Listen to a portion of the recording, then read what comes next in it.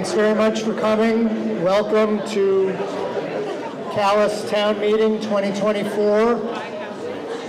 I'm Gus Seelig. Article 1 is to elect a moderator, and for that, I'm going to turn the podium over to our town clerk, Tegan, to conduct that election.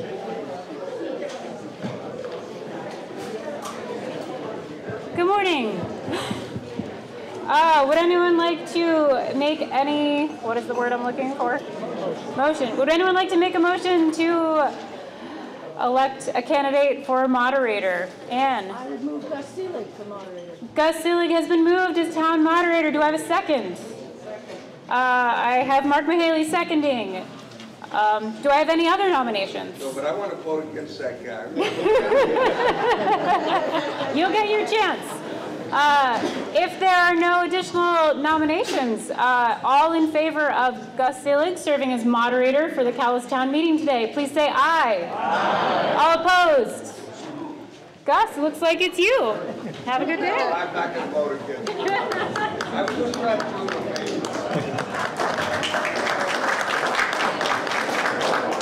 Okay, good morning, everybody. Um, Article 2 is to hear and act on the reports of the town officers. And before we get into that article, I think I'd like to start with uh, a few thoughts. Um, I've been coming to town meeting for, uh, since 1977. This community's been having town meetings according to Weston Cates history since 1795. Um, and I think it's a really important thing because we are living in a country where democracy is at risk, and I think practicing democracy is a great thing. So thank you all for taking the day to, to, to do that. I'm going to talk in a minute about how town meeting works. There are probably a few people who are here for the very first time. I know many of you are very familiar with how it works, and I'll bore you through that discussion. Uh, But before we do that, um, I began last year by saying we were really rusty at town meeting because we'd had a couple of years of Australian ballot and an informational meeting through the pandemic. Um, I'm still feeling a little bit rusty. And the other thing that we did last year was to elect completely new town leadership, five new members of the select board, now a sixth. Um, We've elected a new town clerk and a new town, and for the first time, we have a town administrator. And I wanted to introduce our town administrator, Kari Bradley, who is over here today. He grew up in Calais, went to school here, came back to the community, and we're really glad that you wanted to do this work. And I don't, if you want to say a word or two? And do we have microphone runners? Oh, Here we go. Is he really from Calais? Hey, everybody, Terry Bradley. Um, yeah, I really am from Calais. Does it show? um, yeah, so I live on Long Meadow Hill Road and, and went to this school in E32 and uh, moved back here with my family in 2019. And uh, took this job four months ago. And so, town administrator, number one question I get: What is that? What, is, what does that entail? It, it's a, a I wear a lot of different hats. It, certainly, road commissioner is a big part of it. And uh, I, I don't drive truck, but um, I've uh, those functions, and I don't have a roads background, so I've been learning a lot, and I really want to express appreciation for the road crew, uh, Tyler and Peter and Ed and Dana and John as our new foreman. I think it's been really important.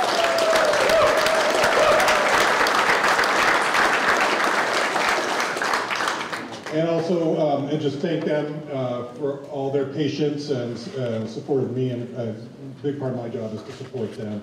Also want to thank Toby Talbot for all the help he's provided to, to me and to the town. Um, I won't- I won't delve into the details of roads right now, but I'm sure it will come up in a little bit. Uh, uh, Another big part of my job is overseeing the treasury function, and want to acknowledge Sandra Ferber, who came back out of retirement to serve one last year. She'll be retiring in just a matter of weeks. Sandra's on vacation right now, but she's just done such an amazing job, and her systems are rock solid, and I just really enjoyed learning from her and working with her. Um, and, and then the rest of the job is really supporting the select board in all that they do. We've got a bunch of different projects uh, underway that I'm trying to contribute and, and new things coming along all the time. And I just want to thank the board members for their supportive and, and thoughtful leadership, and, and we're, we're very lucky to have them.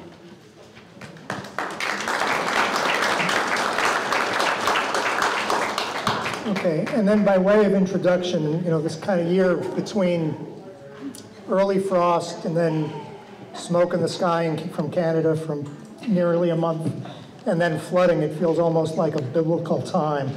Uh, But I wanted to, and just signing up to be on the select board's a big deal, but to sign up this particular year has been a lot of work, so I wanted to just thank all the select board members and starting with our chair, Ann Winchester, do you guys want to just say a word and introduce yourselves to the community?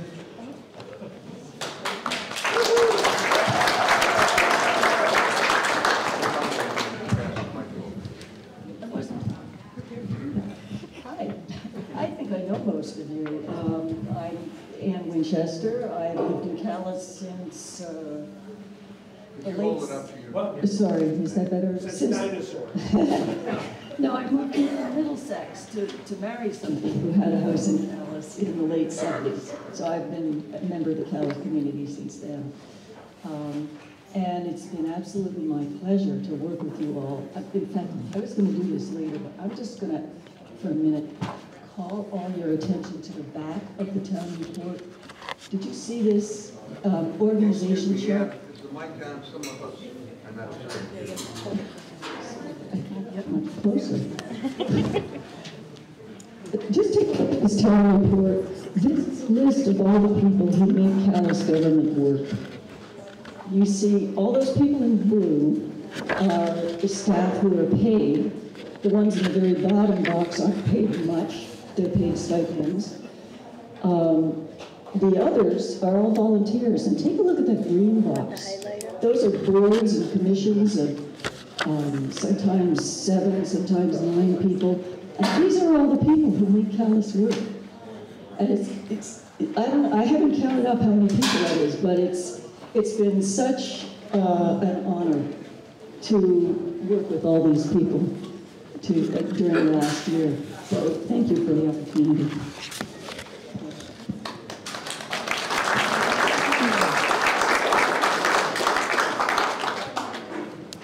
Hi all, I'm Jamie Morby. Uh, grew up in Maple Corner and still there. um, I am the general manager of the Maple Corner Community Store and Grammy Bar.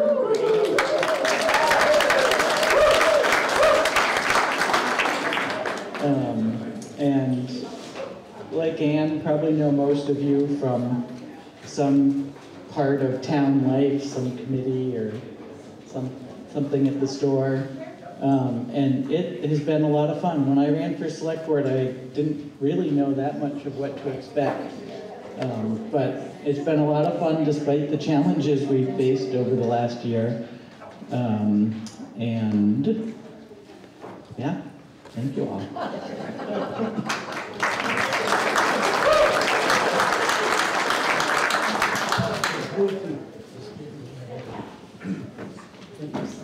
Hello, can you hear me?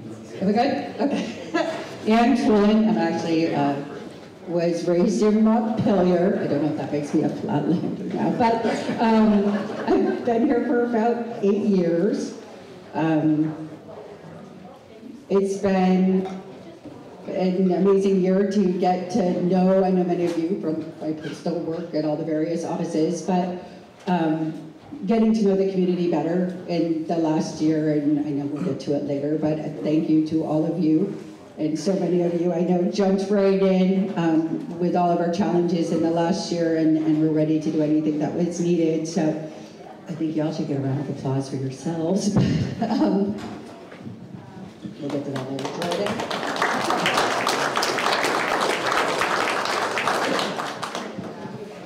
Hi all, I'm Jordan Keys. Uh, like Ann, I had the privilege of marrying into uh, the Calais community, uh, wonderful family in Maple Corner, but I've been an official resident of, uh, of Calais for uh, a little over two years, but, but around for about 10, uh, almost 11 years. Um, and over the last year, it's been a real pleasure um, serving with the, my fellow members of the select board, um, and I care deeply about the issues that the uh, that the community faces, and being involved uh, and, and helping chart, chart a path through those kind of turbulent waters. So, Kara, you, you've already gone.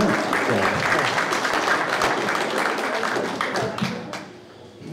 Oh, just Donnie Mucciarino was unable to come today. He is our other select board member, and he had a training because town meeting is a day off for a lot of people, but not for all people. So he was unable to be here today.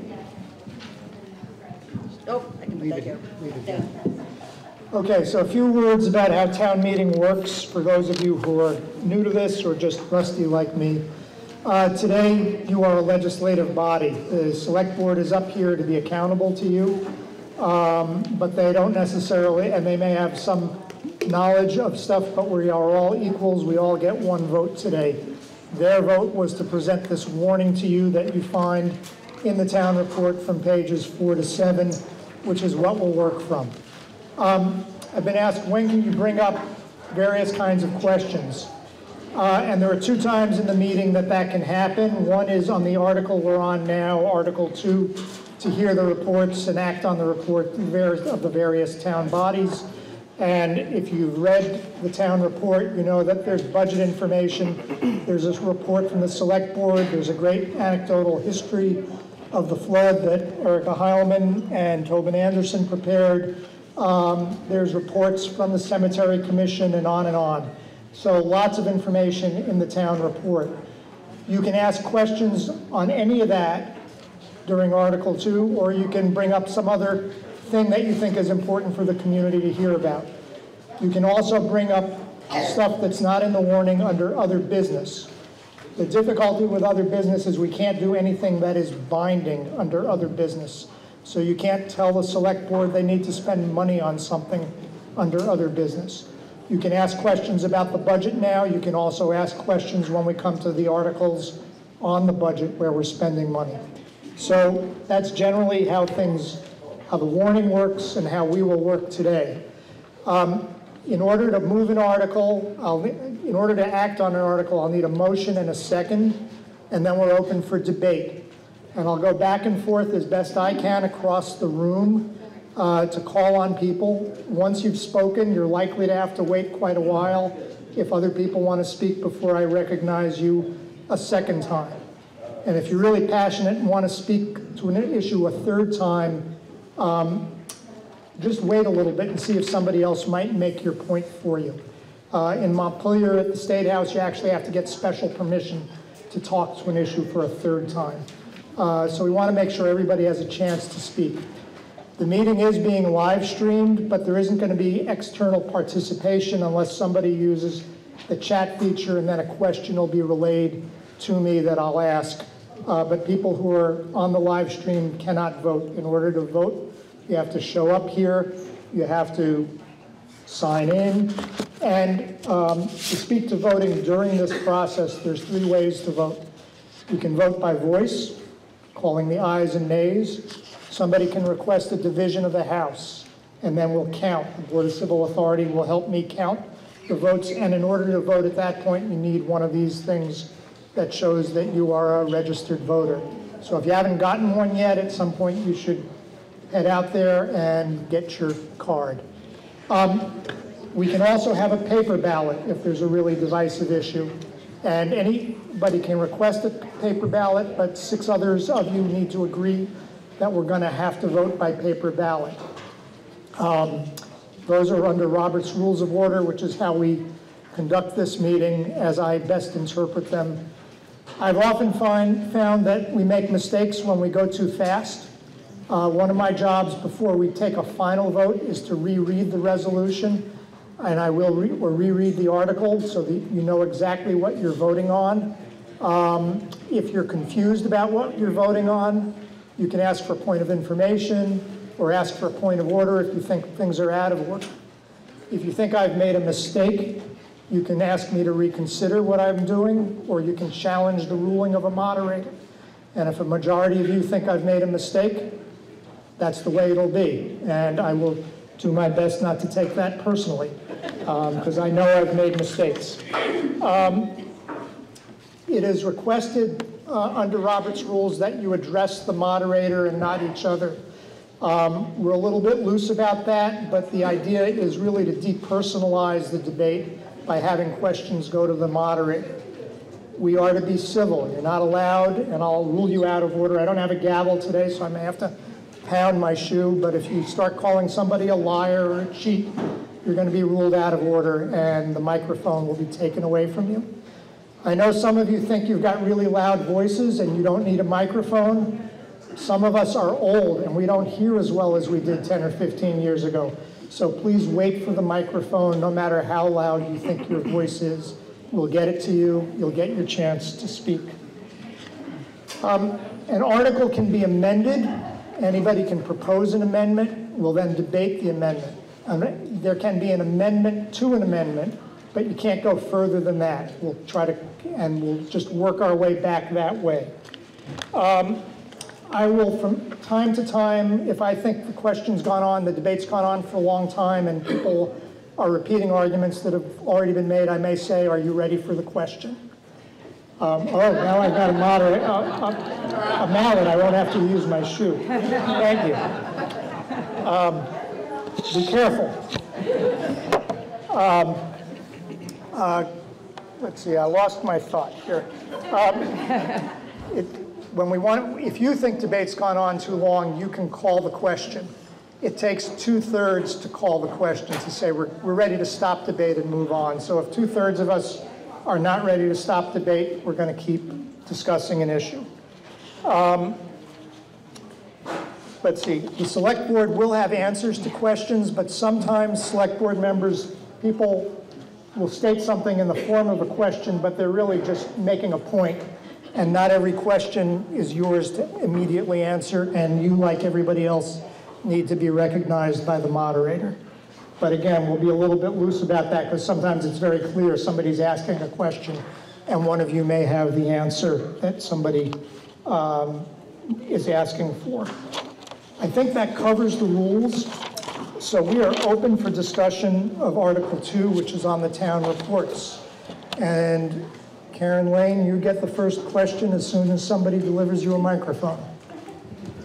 Hello? Um, Not a question, just a motion to uh, spread praise and appreciation to the East Calais Community Trust and our um, profound appreciation for the rebirth of the East Calais General Store and its wonderful general manager, Jess Quinn.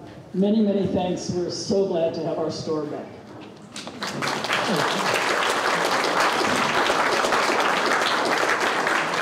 Okay, and Jess, uh, as somebody who lived next to the store for 30-some years, I know it's a seven-day-a-week thing, so thank you for being here today, and thank you for being there every day. It's much appreciated.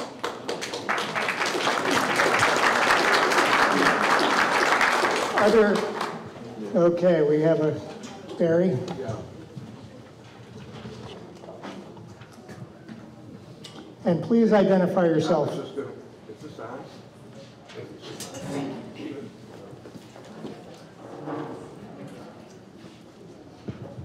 How's that? Okay. Uh, my name's Barry Bernstein. Um, I live in East Calais.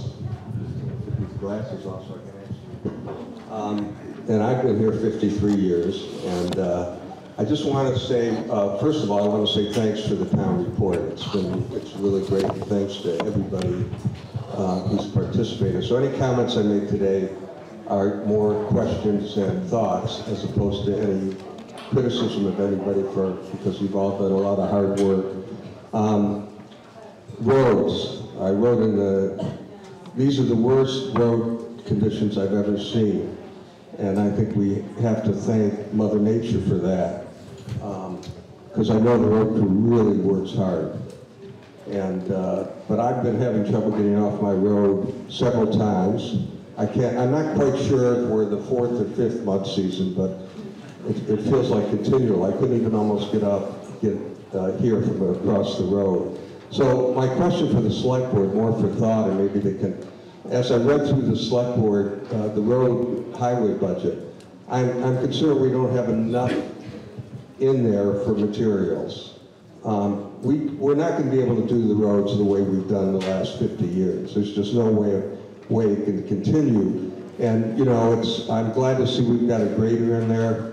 It's a lot of money, but, it- you know, we really, we, comments I've heard from old timers as long as I've been here, excuse me, I'm sorry, um, has been, we, we have a tendency not to grade uh, deep enough to really get to the uh, potholes.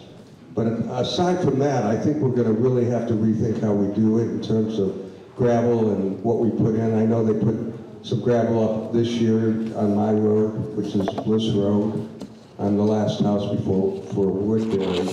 Um, So I, I'm sure you've been talking about it, and I'm sure you've been thinking about it, but I, when I saw that we, we have the same amounts for gravel and uh, other material, I, if we're gonna pass a budget, I wanna know at least that you've got enough room to do more, because it's gonna be essential. So that's kind of the question of, do we amend the budget uh, and give you more leeway for materials? Uh, What's your thoughts on it? Ann? Okay, Ann. Do I stand up or? Yeah. Oh, um, thank you, Rose. Um, so with the roads, we did, because the budget was a very deliberative process, um, and trying to minimize increases on folks. Last year, we were unable to tap into state funding that we get every year to fix certain sections of the road. So this year, we have two portions, which Okay, which, um, off the top of my head, I don't have the num- not good with numbers, but I want to say it's like hundred and fifty-three thousand dollars. Um, and I met with the guys yesterday. Like this? Okay, I feel like I'm eating. It's like, um, we're all sharing, it feels very, mm. Um, So with the roads, we do have to retool post-flood, uh, how we do the roads. We can't kind of use the same practices that we have in the past. So we are already starting that process of looking at specific, and I know there's a section on Bliss Road East Hill where it kind of culminates there. um, Where we will be working on smaller sections, but doing them more deeply. So we've got roads that are flanked up by swampy stuff on both sides that need to be done a certain way. Um, And so the goal is to do fewer sections of road, but do them right. And then the next year, do fewer sections of road, but do them right. And things that are going to be more resilient moving forward, uh, because after having to replace some of the roads this past summer, we don't want to have to do it again. We're hoping that the vast majority of roads that we had to do massive repairs on will hold up in future events because we tried to be very deliberate in how we put them back together. Um, So we're hopeful to maximize that repayment from the state this year and then revisit it again for next year's budget. Does that answer your question? Well, I- my only thing was in terms of, do you need more, do you have enough in there for material? I mean, that was- I'm really concerned, it's not just East Calais, it's, it's all, it's not just Bliss Road. I mean, it's, it's every road in No, it's every road in, in town, but there's also, you know, the, the number of people we have to do the work. And, yeah, type of level, but so with materials, it's, it's not a padded budget by any stretch, but I think our goal was this year to tap in that 150 or so thousand dollars from the state reimbursement, uh, to maximize what roads we could get fixed, to get fixed really well. Okay, so the hundred and fifty thousand. Barry, you don't have a microphone, people deaf who can't hear you. So, yeah, so this is state funding, so they, so they can match. We put in a little bit, and they give us most of it. So those, for this summer, were the roads that we were going to be focusing on, or we're doing kind of our usual, going through the whole thing, in part, um, to kind of shift and have a practice of really doing smaller sections really well, which is challenging, because then the people that aren't on those sections are like, what about my section, what about, you know, and we have over 70 miles of road, so it's, it's gonna take a while to get there, but, but we're gonna do that this year, um, with hopes of softening what, you know, the raises in both the budget and other things that people are facing. But we're gonna try to do good by the roads, yes. Okay, anything else? Anybody, anything anybody wants to raise? Um,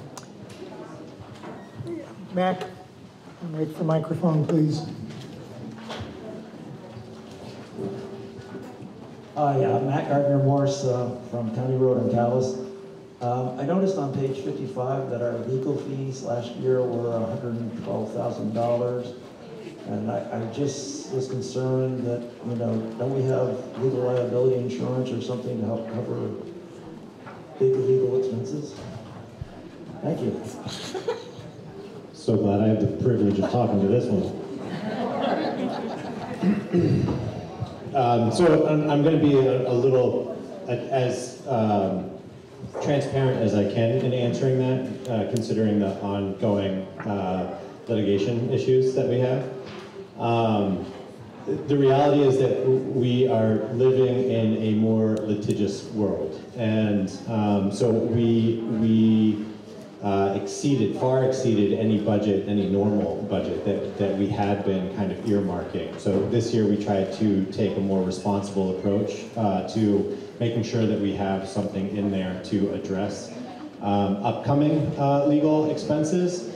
Um, but the reality of our ongoing situation um, is that we are in kind of an awkward gap of coverage um, because um, neither party are, are, are seeking um, are seeking damages, um, and uh, that isn't necessarily covered by our litigation insurance. Um, we're just kind of arguing about who's right, um, and and so in some ways that seems like a pretty reasonable argument to have. Um, ironically, that puts us outside of our coverage for that. Um, we are exploring uh, making some changes um, to our coverage uh, to try to help uh, avoid that situation in the, in the future. Uh, but that that's that's where we stand on, on that particular issue. If I go too much further into that, it probably our attorneys would probably slap my hands. But um, Thank you. Okay, we have a hand up over there. Hi, um, uh, Linda Sheets, and I wanted to thank everyone. Last year, you gave um, $4,000 for a handrail at Curtis Pond. Remember that? We went like a half-hour debate on it. Well, it is done. It is at Curtis Pond now. John McCullough was the architect. Um, Josh Badilotti from Hyde Park built it and I had a wonderful team. Uh, Jamie was the liaison. I had Heidi um, Thompson and Meg Dotson and um, Rini Degas all worked with me, and we and you must go down and see. It's got little frogs that sit there looking over the pond, and we really hope it helps older people, young people of all kinds. So thank you very much.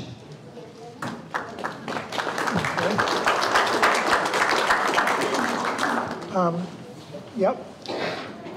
Ann?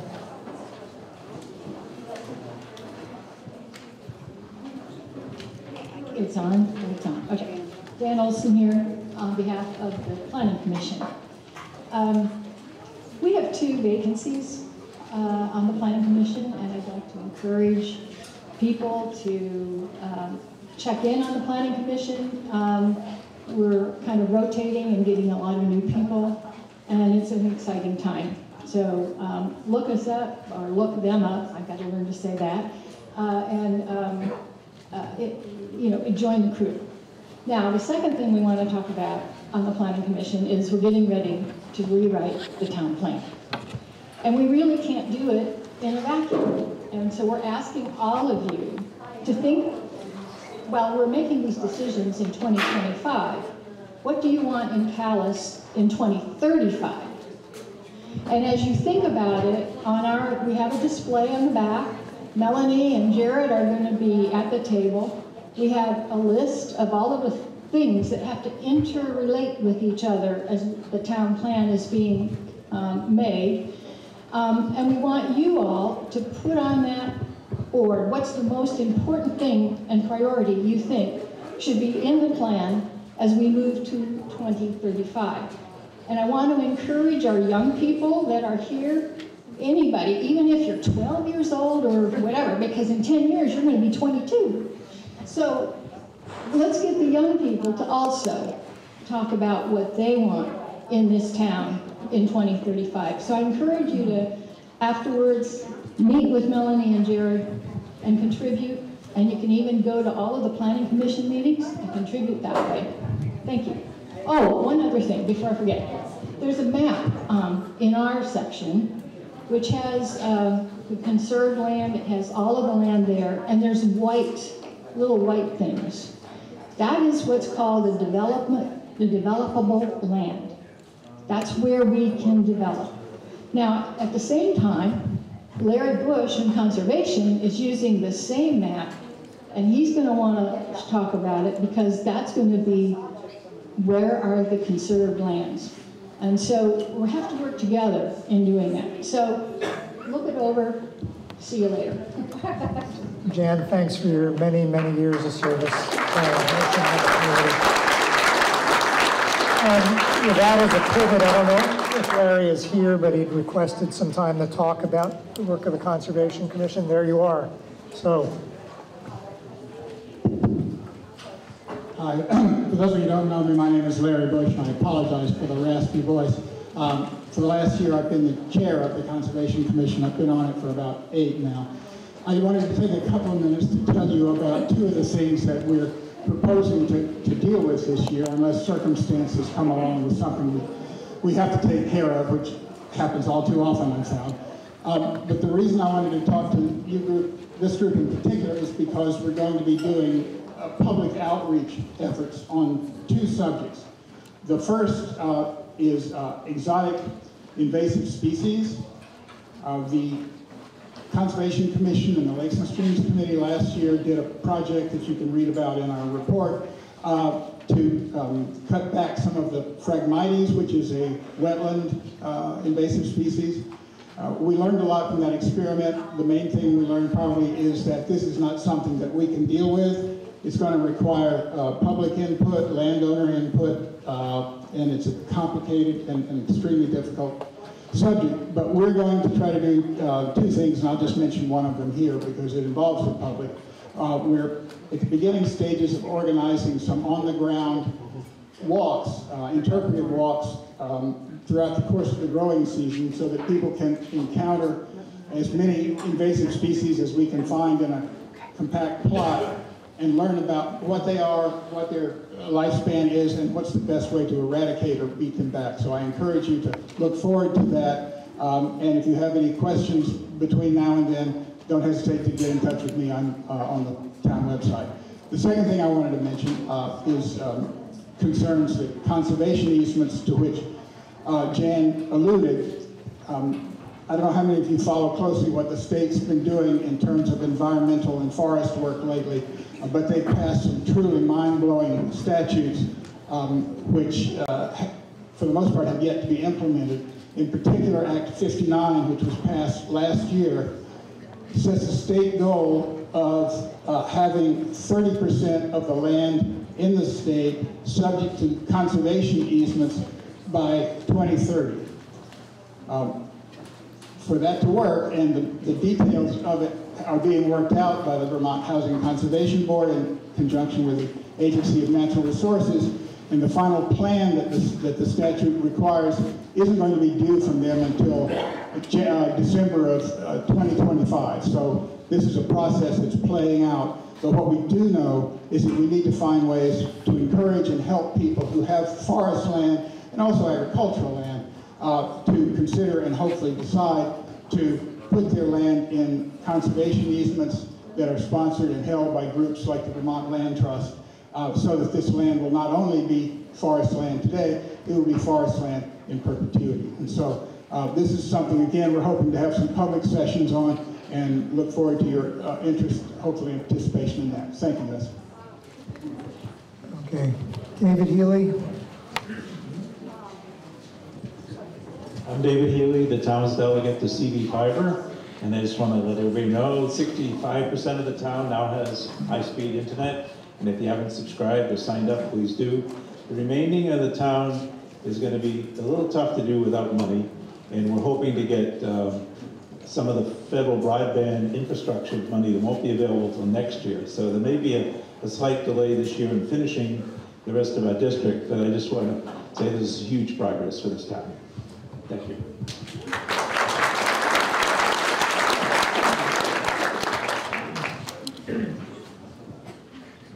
Got a hand up and back?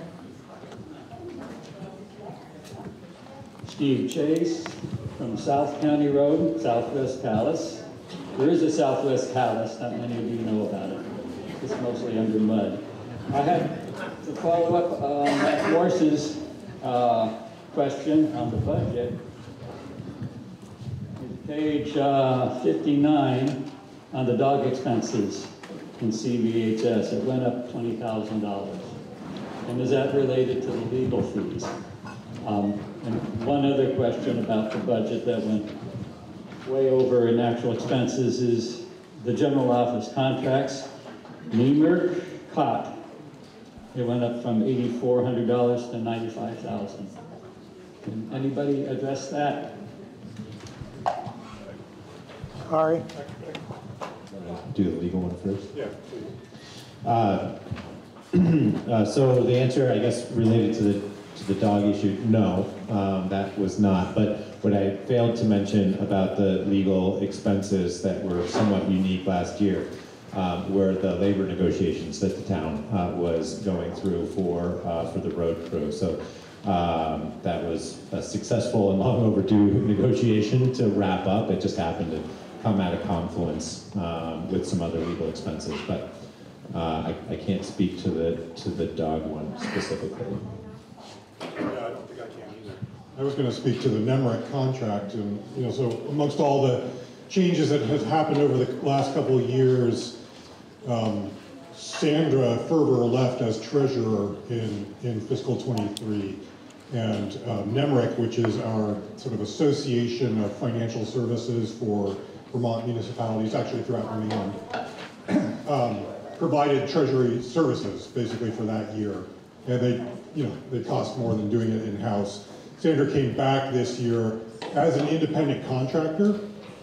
Um, and so with this next year, we will fully bring the, the treasury service in-house and it'll start to look more like a normal um, uh, line, on, uh, line item on our budget. Does anybody know about the? Oh, yeah, so um, the, it, it is uh, animal boarding related.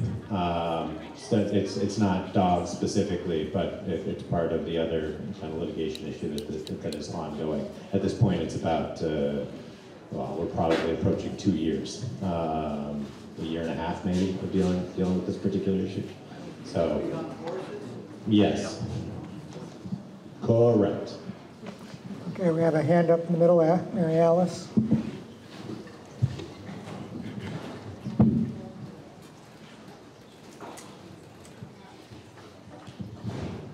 Hi everyone, I'm Mary Alice Prophet and I live on Jack Hill Road. And I just wanted to point out that our um, booklet that we received in the mail has a new item in it and it caught my eye and I was really excited to see it. And it was the statement of inclusion, the Declaration of Inclusion, that we in Calais are a welcoming community. And I know as someone who is, I was born and raised in the South, we're still working on using language to articulate our values. Calais is a warm and welcoming place, and we all know that just from living here. I moved here a decade ago. My neighbors are incredible. Everybody's been so kind to me. But to see that written so that people who might be thinking about moving in to help with, with the many jobs that we need to fill in our area, to help with caretaking jobs for our elders as we try to age at home in place, I think that that statement is so important because what it does is it sends a signal out to people who might be willing to come to Vermont to help us in our time of need, as we're one of the oldest states in America, that we welcome you, we want you to be here, and we appreciate your help. So I was just very proud of our select board and whoever was involved in um, making that statement, just articulating the values we already have, putting them in writing. And I just want to say how much I, um, I think that's a great idea. So thank you for doing that. Thank you for writing that down.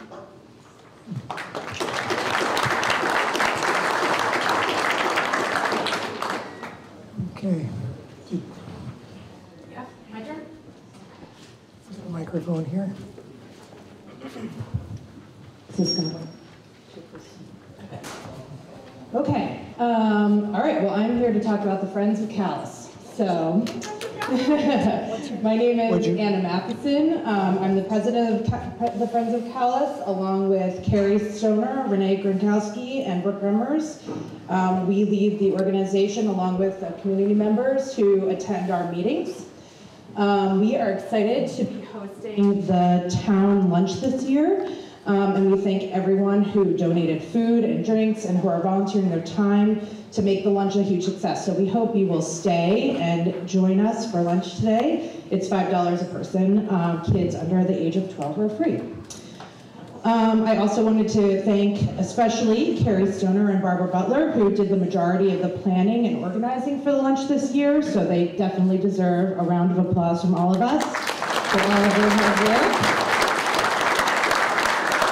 I also want to bring your attention to our town meeting bingo cards this year that we placed on everybody's seat.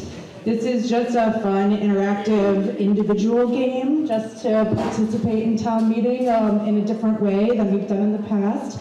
Um, and I want to thank Renee specifically for creating the bingo cards and printing them out for everyone. So um, have fun with it. No pressure. Um, I wanted to share a little bit of background about the Friends of Calais. Um, the Friends of Calais was previously known as the PTNO, um, and it established in 2020 with the aim of expanding the scope of enrich- enrichment activities um, and better serve the broader community of Calais, and that's all of you. Um, last fall, we developed a survey that we shared, and 107 uh, community members responded to that survey, and we have been working very diligently to use the results of that survey to help guide the programs and events that we've been planning here um, for the community. And so I want to highlight a few. Um, we started Fiber Friends, which is a gathering of folks who want to socialize by doing fiber arts. They meet at the town hall on the first and third Thursdays from 6 to 8, and the second and fourth Sundays from 1 to 3. So if you're interested in fiber arts and want to gather and socialize, that's an opportunity. Uh, we also are starting a monthly Curious Calais Nature Walk. Uh, the first one was in the Chickering Bog in February. Uh, the next one is taking place um, this coming Saturday, March 9th at 9 a.m. on the Robinson Hill Trails and Robinson Hill Road, and that's going to be led by Rachel Pelham. But if you are interested in leading a nature walk and want to be a part of our Curious Calais Nature Walks, please reach out to us and let us know because that is an um, event that we are hoping to have monthly. Um, and then lastly, uh, we have an upcoming spaghetti dinner, uh, which is a fundraiser for the Friends of Calais. It will be here at the Calais Elementary School next Friday evening. Um, we have raffle items um, and we have registration forms. Which look like this. Um, on the back table, the swim table, um, which I want to draw your attention to, um, there's some information in the back of the room, so some of the Friends of Calais information is back there as well. Um, we are asking that people register by this Friday, March 8th, so if you are interested in attending this spaghetti dinner, which we hope you will, please register and you can bring the forms to myself or to Danielle in the front office of Calais Elementary. We also have uh, envelopes hanging at the uh, community stores in East Calais and Maple Corner. Um, and then lastly, we would love for your participation with the Friends of Calais. Uh, we meet every third, every second Thursday of the month at the town hall from 6:30 to 8. Um, we cannot continue to implement and advance our goals without more help from the community. So we hope that you will join us. And if you have any questions, all of our board members are here, so seek us out. Um, we are happy to answer questions and there's more detailed information, again, the, about the Friends of Calais at the swim table in the back of the room. Thank you so much. Okay, um, Daniel.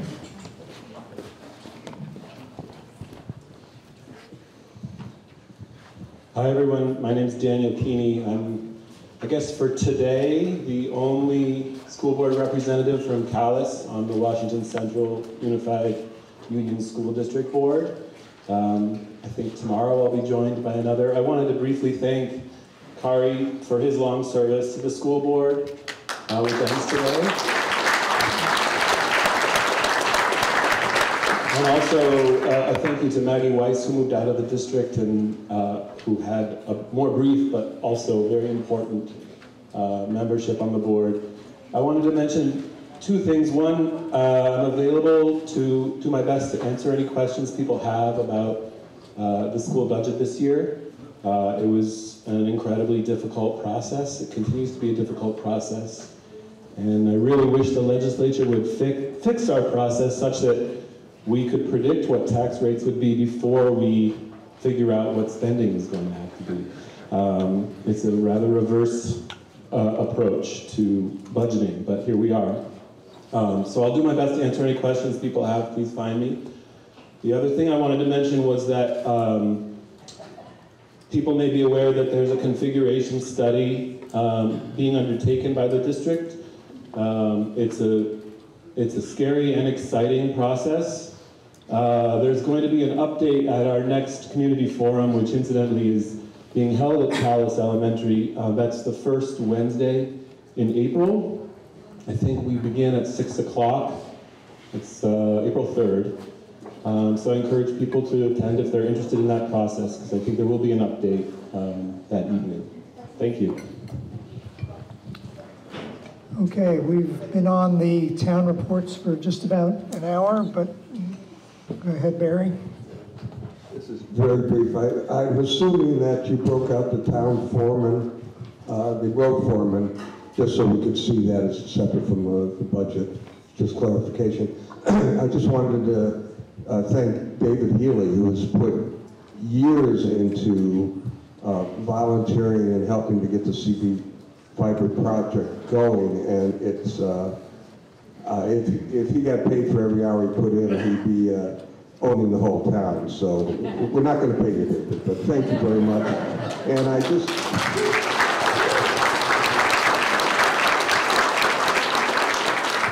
and uh, I also wanted to say we're missing a member of the town, Betty Bush, who, they had a fire up on Max Gray, and she was she really burned, and I know she comes every year. Um, came into town about the same time I did, and I just, uh, I know we're all thinking about her, so I just wanted to mention that. Thanks. Thank you, Barry.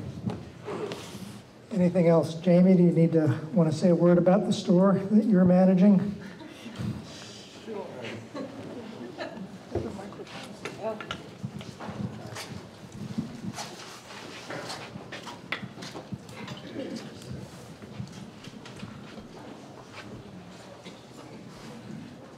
Um, I just uh, wanted to thank everybody for their support over the last year at the Maple Corner store. We've had a really exciting year of growth. Uh, with the whammy bar shut down throughout much of COVID, uh, having been open for the last year, our uh, revenue has grown a lot, our offerings have grown a lot. Um, it's been an exciting year.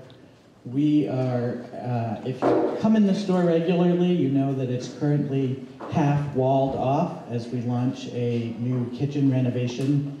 Uh, and we'll be uh, opening our new kitchen hopefully at the end of this month, which is very exciting. Um, and yeah, it's great. And we're really excited. East Calais is open now too. It's been fun working with Jess a little bit. Uh, and I think there's a lot of opportunity for the three stores in town to continue to work together and grow together. Okay, thanks.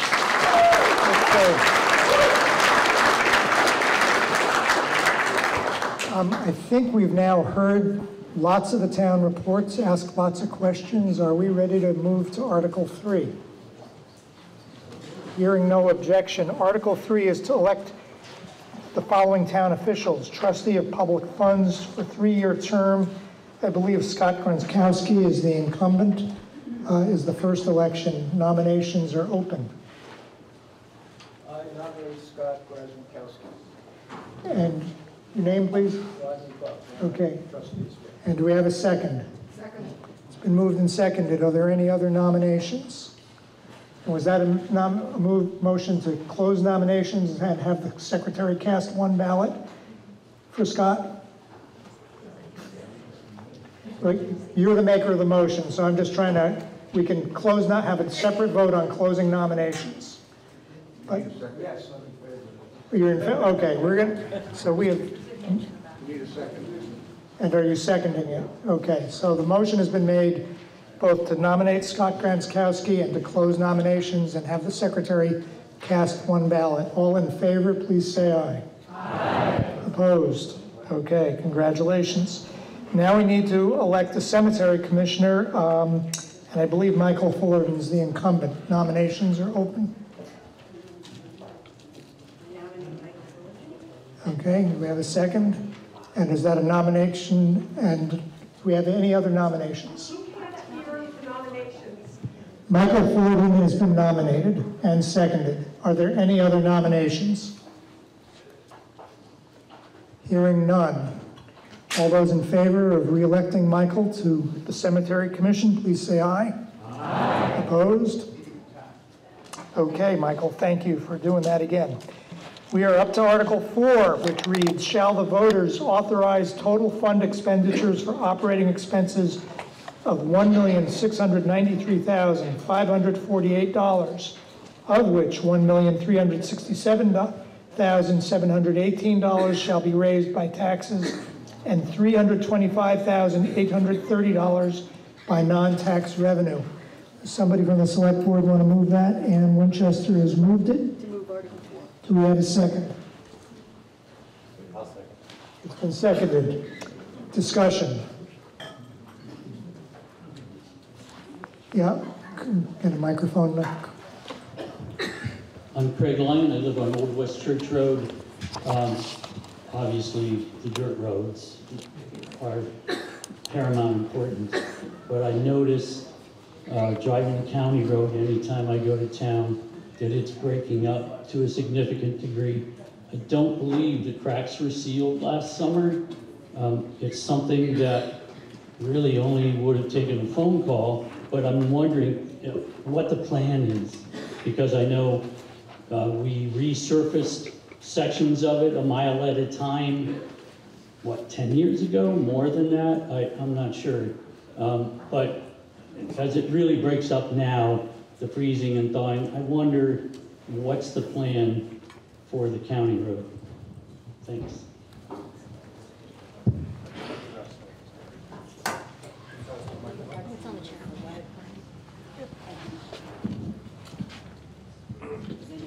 So you, you are correct that um, the um, general approach is to pave or resurface one mile at a time. That's because the, I think it's the Better Roads grant that's provided by the state, um, basically covers one mile of value. So um, Toby Talbot is our uh, grants administrator, and we're going to make a determination within the next few weeks of whether to apply for that grant this year to take care of the oldest section, which would be the southernmost, the first mile coming out of East Montpelier, which I think is probably in the worst shape.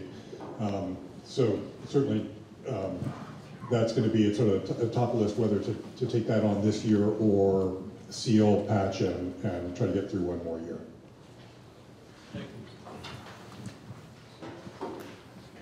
Yes, we've got a hand up in the back.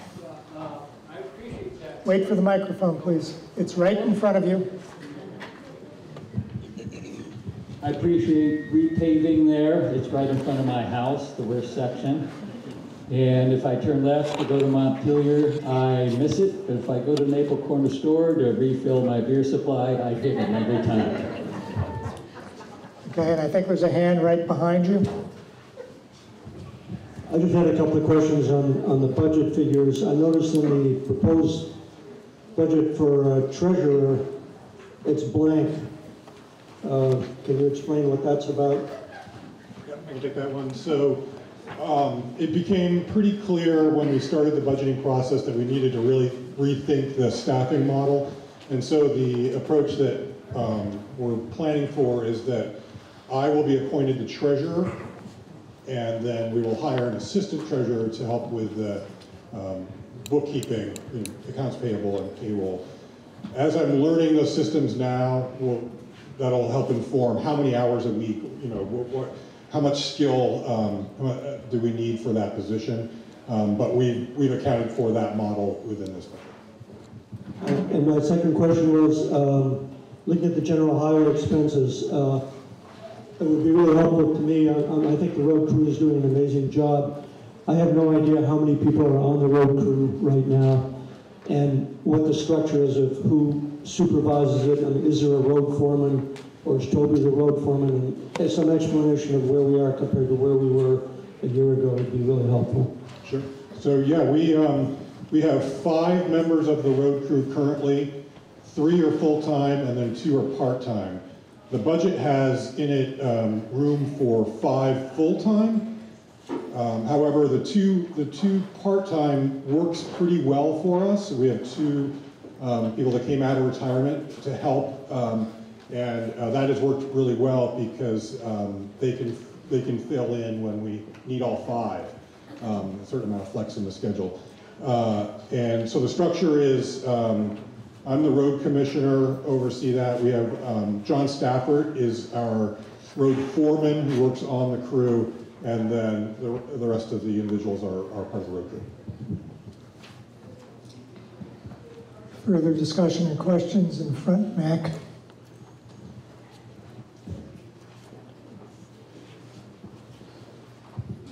Hi, I noticed there was quite a bit of ARPA money, and I was wondering what the plan is for the ARPA money.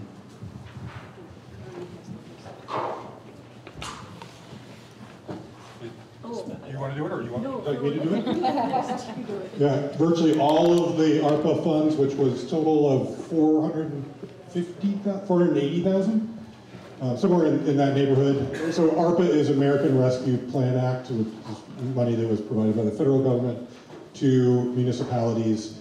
Calais's allocation was somewhere in the neighborhood of 480,000. Virtually all of that has been obligated at this point, either spent or um, uh, turned over to whoever, whoever the beneficiary of that's going to be. I think the single largest allocation was 200,000 for, for the, sorry? CV fiber. It was CV fiber, thank you. Um, the dam got a portion, um, East uh, Calais uh, Water District? Fire District received a large portion. Um, uh, you know, there's, there's probably a dozen different beneficiaries and, and essentially all of that money has been spoken for at this point.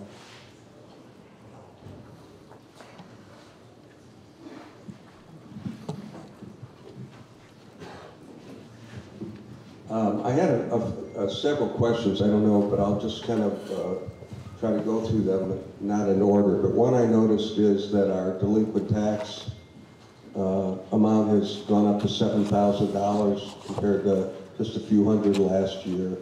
You know, I'm concerned about um, the people that have the hardest time with taxes um, having to pay additional.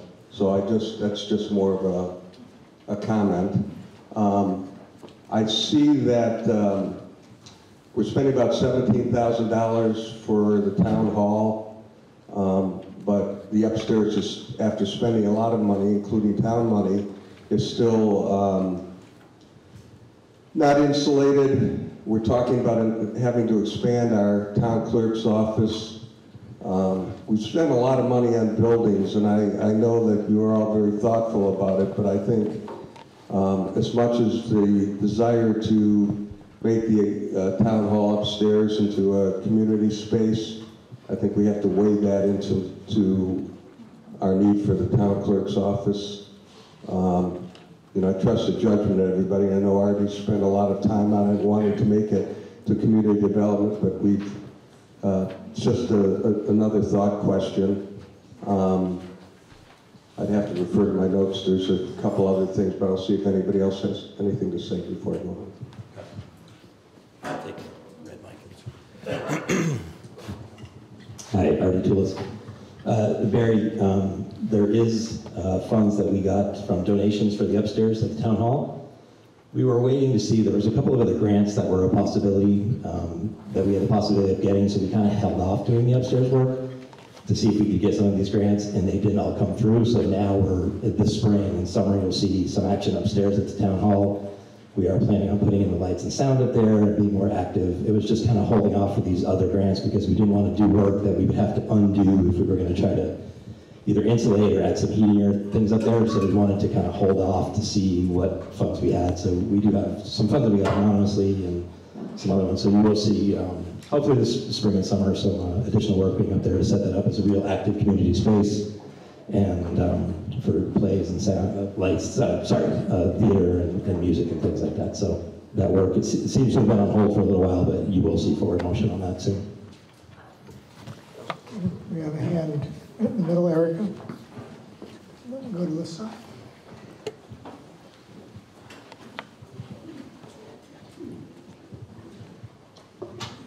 Just to follow up with what you were saying, Barry, about delinquent taxes. Um, Every year we come and every year pe- people say that they don't know how they're going to pay their taxes this year. They don't know how they're going to pay their fuel bill this year. And um, we are all empathetic, but I don't know what we're actually doing about it. And when we talk about the town plan and um, wanting to, to in- be inviting of new people coming here, I think it behooves us to ask, how are we going to help people stay here who have been here and want to stay here? And I, I don't know what the practical question is. I know that I'm late to this question, and maybe it's something for next year that the select board could look at. But I, I was talking with Gus about it. There, before land use, there was, um, we sort of dealt with, we, we helped farmers on a local level before there was the state uh, land use policy. And I'm wondering if there's some way that, uh, you know, those of us who are not particularly worried about the tax bill or too squeezed by it, is there a, can we be kicking in a hundred bucks to help cover these, these, um, these costs? I don't know how that works. I'm just thinking, we really need to be personal about how are we gonna help people stay here? Okay, we have a hand up in the middle on this side. Hi, I'm Mercedes Pignon. I live um, right on um, Jack Hill Road.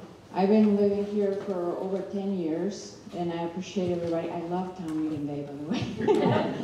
um, so I agree with you, and by looking at everything here in the budget, there are needs and there are things that are wants, and everybody's aware of that. I'm gonna touch on a very sensitive topic, but hear me out. Uh, so, the, I know there's inflation, everything, every, everything just keeps going up and up, including taxes. So we're gonna have to draw the line and try to see, to differentiate what are the needs versus the wants, like, for example, um, to be honest, the Hubbard Library, it's now, uh, the proposed budget keeps going up, like now it's thirty-three thousand two hundred and twenty dollars. I understand a lot of people attend and go and it's beautiful and all, but one of the things that I learned when I moved here is the library is not in Calais. Um, Point of order. Yes. Doesn't this pertain to a, to being discussed article? There is, there is a special article on this topic, but I'm Right. to let her make her point. It, it's just an example, just so if we can, I'm not saying just stop everything, but if we look at just little things here and there that we could still support, but take care of our own first, and then see what, what's there left that maybe we can, you know, spare, let's put it that way, but let's consider when other articles like this come up, what is a want versus a need? Because over a million dollars uh, over, it's, it's just a little too much. So taxes, the way they keep going up, is not helping that situation either. And it's not helping anybody, so, thank you. Okay, there's another hand in the grandstand there. Hi, Pam DeAndrea, um, Dugar Brook Road. I know this isn't a lot of money, and this is just a quick question, but page, uh, page 59, um, Under Planning Commission, Jan, maybe you can answer this, um, is a interactive map program, CAI Technologies. I'm wondering what CAI is gonna do for the town and how that differs from the interactive map that we already have. What more are you getting? I know it's not a lot, but still, three thousand bucks.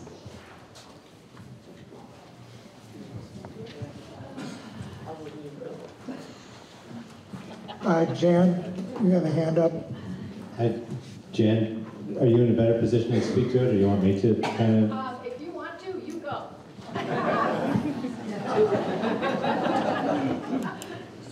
Um, so that is a um, potentially a, a replacement to the interactive uh, maps that that we have, uh, and is a resource that is uh, a lot more flexible and something that we can utilize to make uh, managing and tracking uh, documentation a lot more efficient. Um, what is become increasingly clear, certainly to the members of uh, this select board, uh, who've gotten way into the weeds and, and worked very closely with, with a lot of the different commissions, is there's a lot of different um, groups within the community um, who could really benefit from a centralized resource like that um, and, and gain a lot of efficiency in their work to having a resource like that and making it more accessible and transparent for the rest of the community. Um, so that is why we're exploring, uh, exploring funding that particular resource.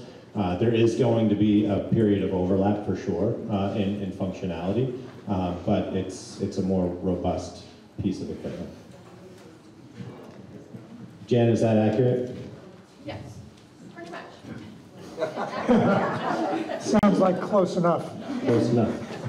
We have a hand up in the grandstand. I just have one other question. Um, There's a kind of a giant uh, elephant in the budget um, for next year, it looks like, and I wanted to know what the status was of the one point, I guess it was seven million that was spent on road repairs as of due to the flood.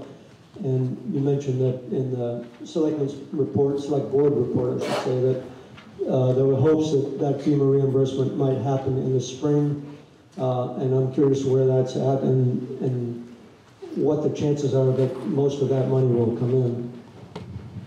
Yeah, I can speak to that. Um, So the figure is approximately 1.5 million was our total expense for flood-related repair. And um, that includes the time um, that our road crew spent on it and the use of our equipment, but also materials and contractor work. And uh, Toby Talbot and Scott and Charlotte Bassage have really led that effort of just really um, detailed work of compiling all that information and submitting it in the form that FEMA wants it.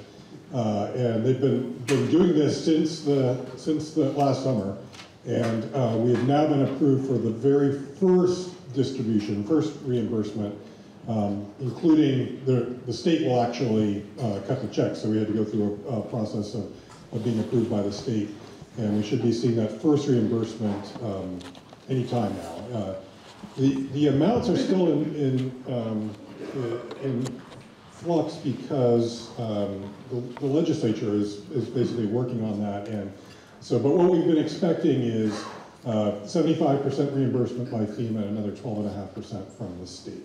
Um, so uh, it's, it's hard to say what the timing on, on the full amount is going to be because there are multiple layers of review for each reimbursement um, from FEMA um, and then various divisions of FEMA having to do with environmental, historical, uh, and so on. And so um, hopefully that will all come forth in the, in the coming months, uh, but we are expecting a cash flow crunch because all that 1.5 million had to be paid.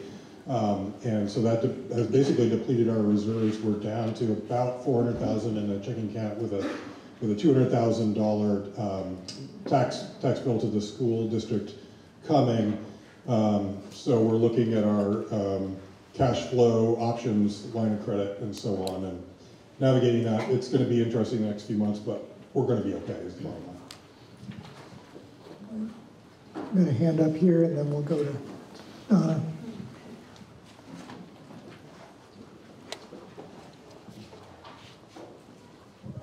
Hi, Mark Mihaly. Um, I guess I'm speaking in my, as, as your representative on this issue. First of all, I think this town was more successful than most in really pushing through the FEMA applications. The FEMA process is bureaucratic and difficult, and Toby Talbot and Scott and Charlotte Bassage and our town really did a great job.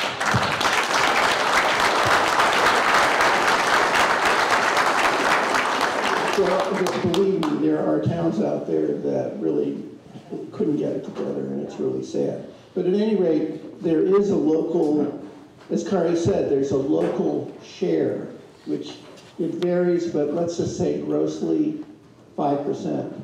And on Friday, the state, the, the House and the Senate passed uh, an act which went to the governor, and I think he'll sign it because it had a lot of Republican as well as Democratic support, which reimburses towns for most of their 5%. And so um, we'll get a grant right away.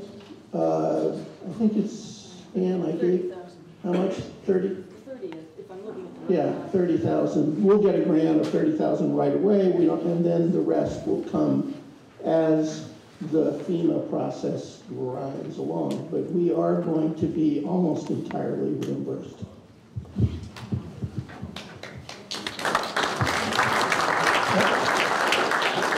Excuse me. Yep. Fitch, I'd like to follow up on Artie's comments about the town hall. And the Friends of the Calais Town Hall are doing a lot of the work upstairs, and that is not coming out of tax dollars, it's coming out of fundraising. And I believe in the budget, there's six thousand dollars for a reserve fund, which I think we're voting on today. Okay.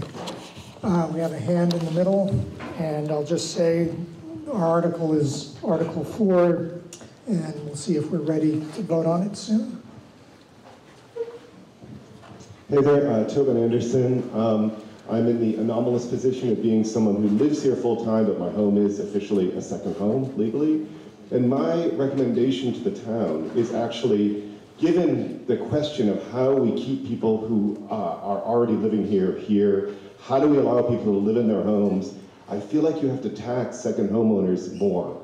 I mean, I won't like it, but screw me, you know? And there are all sorts of reasons to do it, to retain the town's character, and most importantly, to retain people who have been living here, in some cases for generations.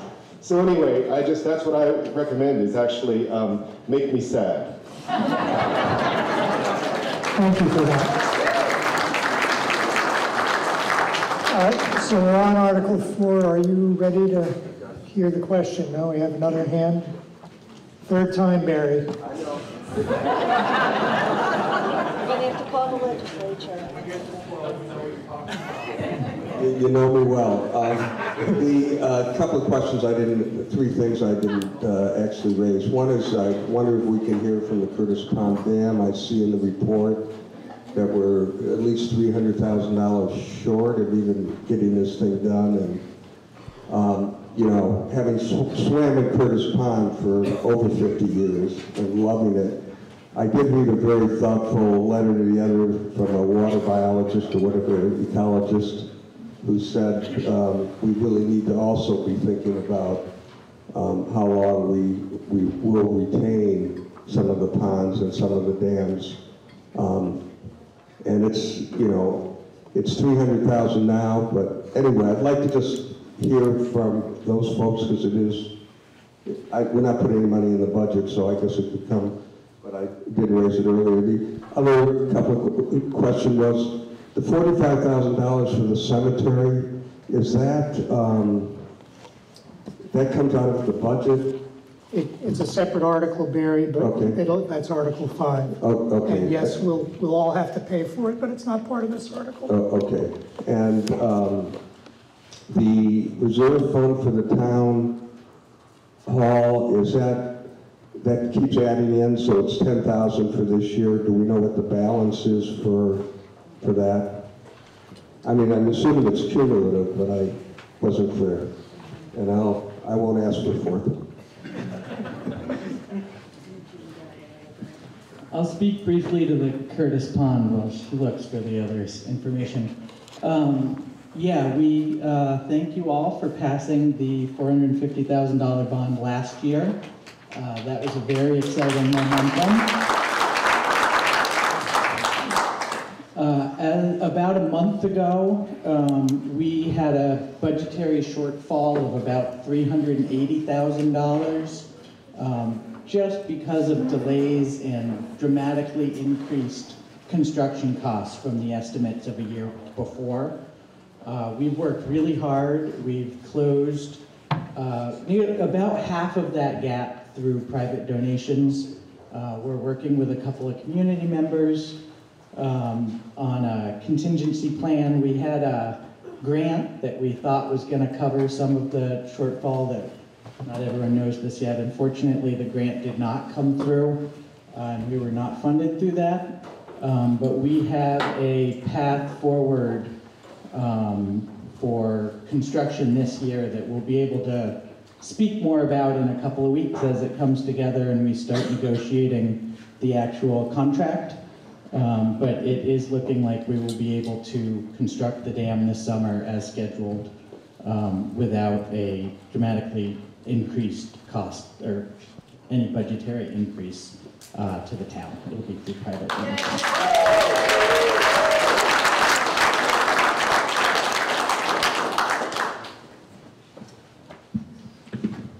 Uh, The amount in the town hall fund at the moment is five hundred and fifty-eight dollars.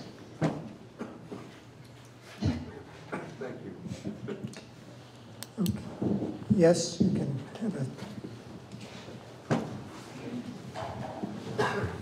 Hi, just a quick question, speaking of bonds, um, and I'm sorry if I, um, if it's there somewhere and I missed it. Is the beavers problem going to be resolved as part,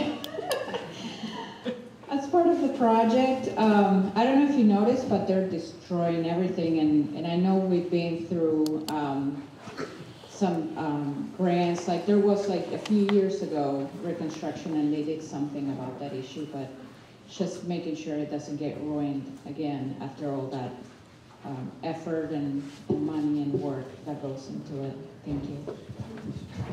So I guess what I'll say to that is, uh, having lived here my whole life, I don't think the beaver problem will ever be resolved. um, it is a perpetual issue. Um, the newly constructed dam will be much stronger and less susceptible to problems based on beaver activity. Um, and there will be some, some aspects of the design related to that directly, uh, but beavers like to dam up water and they'll continue to do so, uh, but with much less uh, risk to the dam, the pond, and the community when they're doing so. Okay, Jan, microphone will get to you. It's it's on its way. Very briefly, um, I took the one million, three hundred and sixty-seven, seven hundred and eighteen dollars for our budget, divided it by sixteen hundred and seven people. I have a calculator. It's eight hundred and fifteen dollars per person. I'm kind of a, a numeric nerd sometimes, um, but it just was an interesting fact. And with that, I move to close. Okay, we've had a motion to call the question. That's not debatable. All those in favor of ending debate, please say aye. Aye. Those who want to go on, please say nay. Okay, and the question is, we've closed the debate. The question is, shall the voters authorize total fund expenditures for operating expenses of one million, six hundred ninety-three thousand, five hundred forty-eight dollars, of which one million, three hundred sixty-seven thousand, seven hundred eighteen dollars shall be raised by taxes and $325,830 by non-tax revenue. All in favor, please say aye. Aye. Those opposed, nay. And the ayes have it. We're on to Article 5, which asks, shall the voters appropriate the sum of 45000 for the operation and maintenance of cemeteries? Would somebody like to move that article? Michael's moved it. Do we have a second? It's been seconded. We're open for discussion.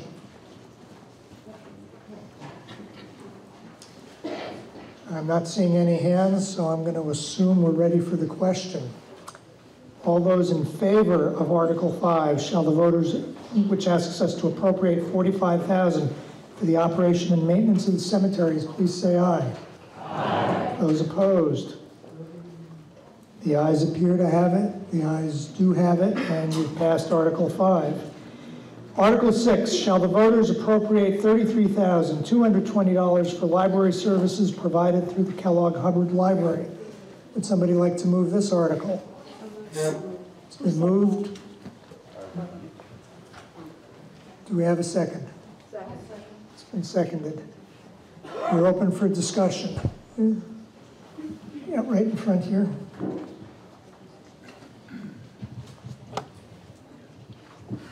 Hi, uh, my name is Jeff Dean. Um, I live in Maple Corner with my family.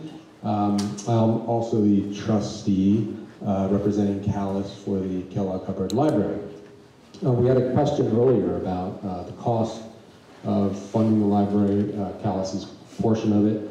And I just wanted to say a couple of things um, because, very briefly, because when we're asked to fund things, we naturally think of the cost, and I wanted to say something about the value. Um, we often think of public libraries functioning mainly as repositories of freely accessible books available to be checked out by anyone with a library card. And while there's truth uh, to this, um, uh, there's truth and value to this, libraries have always been more. And in our contemporary context, uh, the circulation of physical books has been matched by other benefits. The library offers a welcoming community space, and whether you're looking for quiet or connection, warmth in the winter or cool the summer, engaging in informative programs for young and old, use of computers and Wi-Fi, or even that rarest of commodities, a public bathroom, the library has you covered. And for those who may prefer engaging from home, either by choice or necessity, the library offers online access to ebooks, audiobooks, streaming video, and online magazines and courses so I hope the value of the library, including but beyond lending books, is apparent, and I'd really appreciate your support today. I also just wanted to add that you know, the, the earlier commenter mentioned that the library is not in Calais, which is obviously true, but it's accessible to all of us who live here. Hundreds of us use the library, including children, older folks, and not only people go to the library, but they get library services brought to them here in Calais. We have home deliveries for those who are homebound. We have community outreach where we bring books to community centers such as Maple Corner and Adamant uh, Co-op. And so it's not just merely uh, a place where people go in Montpelier to get books. It's lots of other things, and the library comes to us as well as us going to it. Thank you. Okay, we have a hand in the middle.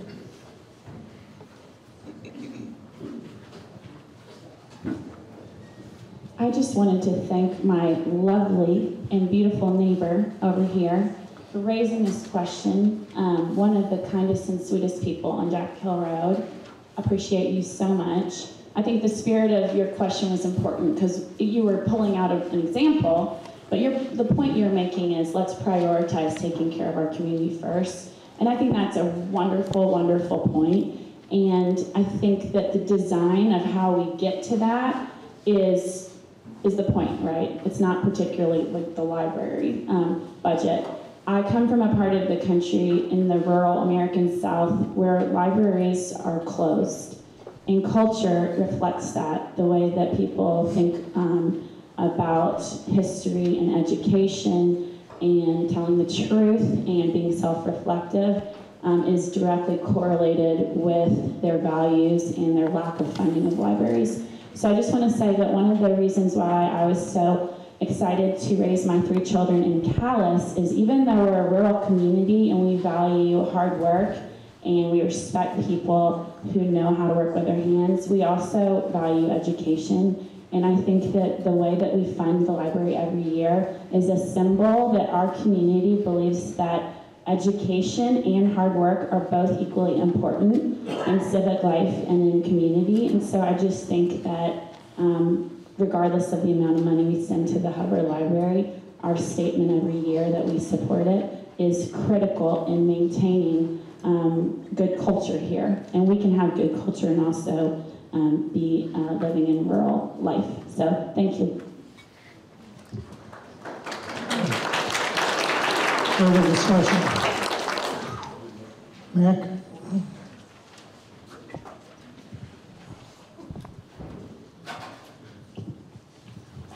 So I was just wondering what the library is doing about the flooding in Montpelier. I mean, it's continually being a hit with floods and stuff, and I, I don't know, we're pouring, pouring money into a sinkhole.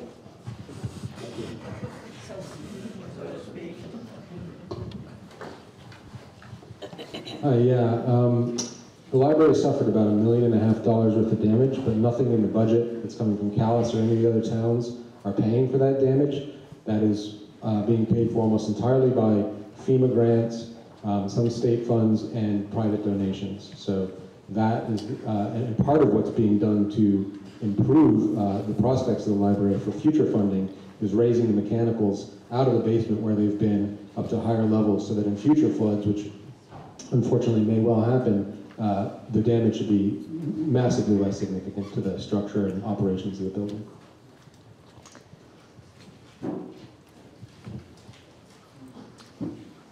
I'm not seeing any other hands, so I'm going to assume we're ready for the, oh, there is a hand, so. Quick question, um, speaking loud enough, I hope. The library stopped taking fines. Is everyone aware of that? And I don't know how much revenue they've lost accordingly. So that's one aspect. If you're used to paying a lot of fines, you're paying more in your budget for not having to pay those fines.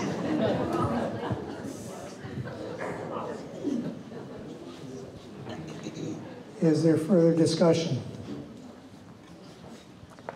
If not, uh, the question in front of us is, shall the voters appropriate $33,220 for library services provided through the Kellogg Hubbard Library? If you're in favor, please say aye. Aye. If you're opposed, say nay. The ayes have it, and we have passed Article 6. Article 7, we often call the social services article. It asks, shall the voters appropriate the total sum of $30,377 to meet the amounts requested by the following organizations in the Calais and Central Vermont area, which organizations provide social services for the benefits of Calais residents, such amounts being reasonably necessary for the support thereof. And then we list, and I will not read all of them, 28 organizations uh, asking for various amounts of funding, which I think I understand to be consistent with last year's request. Is that right? Yes. Would somebody like to move this article? Been moved and seconded. Is there discussion? David?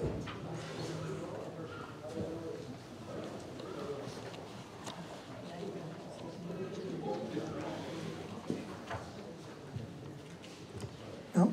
Okay. Any other? Barry? Get your microphone.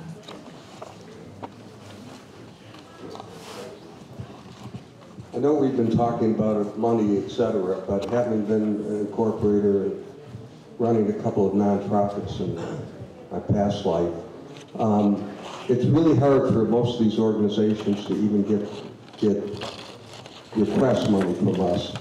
Um, given all that's gone on with inflation, I would like to recommend that we, uh, I'd like to recommend or amend this to raise the amount by five percent, which is fifteen hundred and eighteen dollars. Not a lot, but I just think we're talking about flooding. I know one of the organizations I was involved in, Vermont Center for Independent Living, for Peter Yonke is a deputy uh, director, got flooded out, and I've been out of the space for a year. I think it's just a small gesture. Um, so that's my uh, uh, amendment to this article. And that was 1,500, how much? Eighteen dollars, five percent. Do we have a second? Been moved and seconded that we add $1,518 or 5% to Article. I'm going to assume that that's the intent, Yeah, um, to give everybody here a 5% bump. So that's the question in front of you. We're open for discussion of the amendment.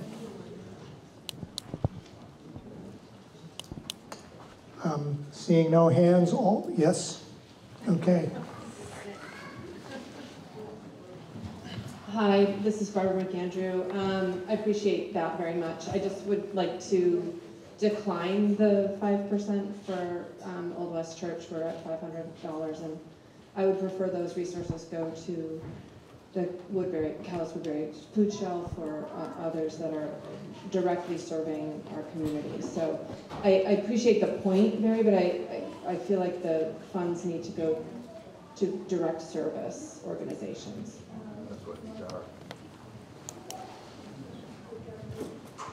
Any further discussion of the article, of the amendment? All those in favor of amending Article 7 by adding uh, $1,518 or 5%, please say aye. Aye. Those opposed, say nay. Nay. The nays appear to have it. The nays do have it, and um, uh, we've defeated the amendment. We're back to the original article, which is to ask for $30,377 for the 28 organizations. Are you ready for that question? All those in favor, please say aye. Aye. Those opposed? And you've passed Article 7. Articles 8 and 9 um, are going to be separate, but um, they really go together in terms of establishing a reserve fund and then appropriating funds. And Mark, just to put you on deck, uh, when we get through these two, I'll ask for a legislative update from you. So Article 8, shall the voters establish a reserve fund under the control and direction of the Select Board to be known as the Emergency Measure Reserve Fund for the purpose of purchasing services and supplies in the event of a town emergency. Would somebody like to move this article? Annie's moved it. Do we have a second? Second. It's been seconded. Discussion? Nick, uh, let's hear from our Emergency Management Award-winning officer.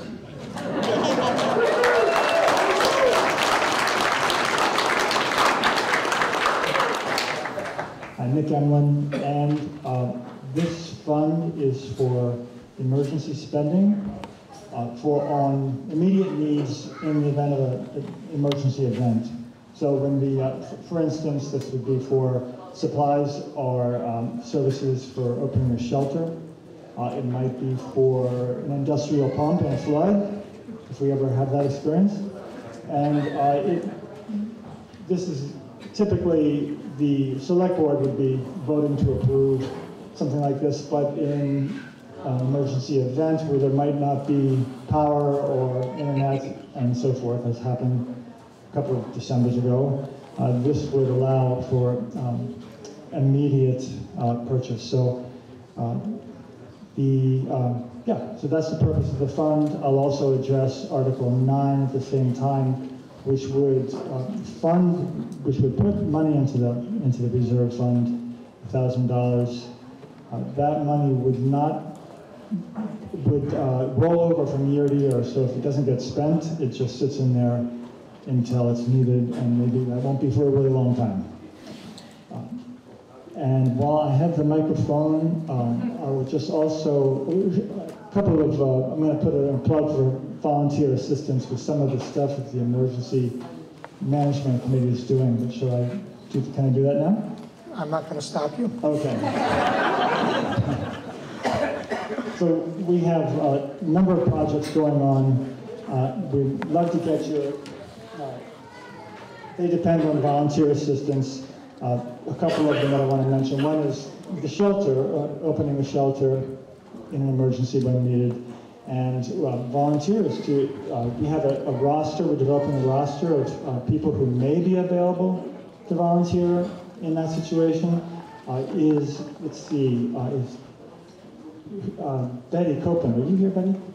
Betty, can you just stand up and wave so people can see you? Betty's uh, working on that list, and speak with Betty if uh, you would like to uh, sign up. There's no commitment, it's just, we might call you and say, are you available for three hours on this afternoon, or are you available to, um, to help staff shelter overnight?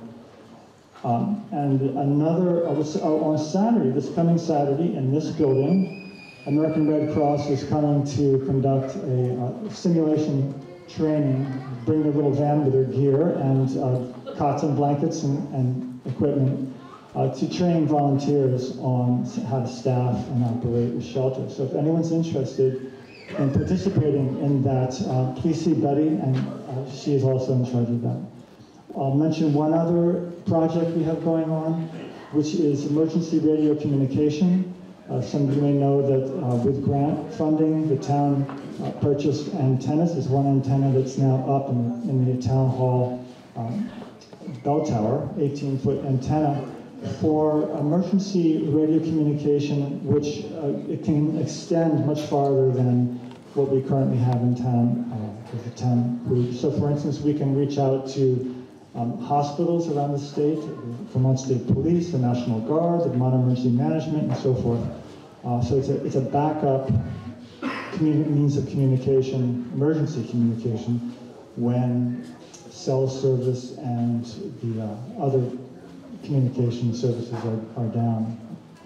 Um, we've been holding uh, self-taught classes uh, at the town hall on Saturday mornings for uh, gaining FCC licensure to be able to use these frequency, emergency frequencies.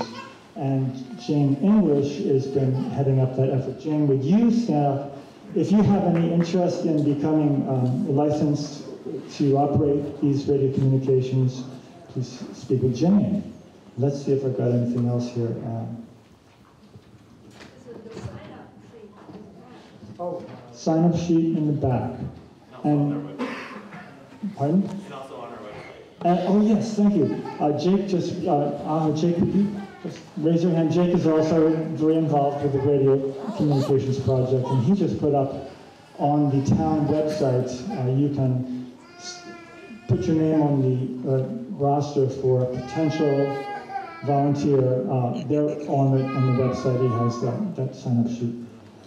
Um, and uh, let me see. Uh, we have other volunteer opportunities. I'm not going to go into any more of them, but you can speak with me or any of the members of this, uh, of this committee. You'll find our names on page 39 of your town report. And um, let's see if there any, I see some hands up. Jane, did you want to make a comment?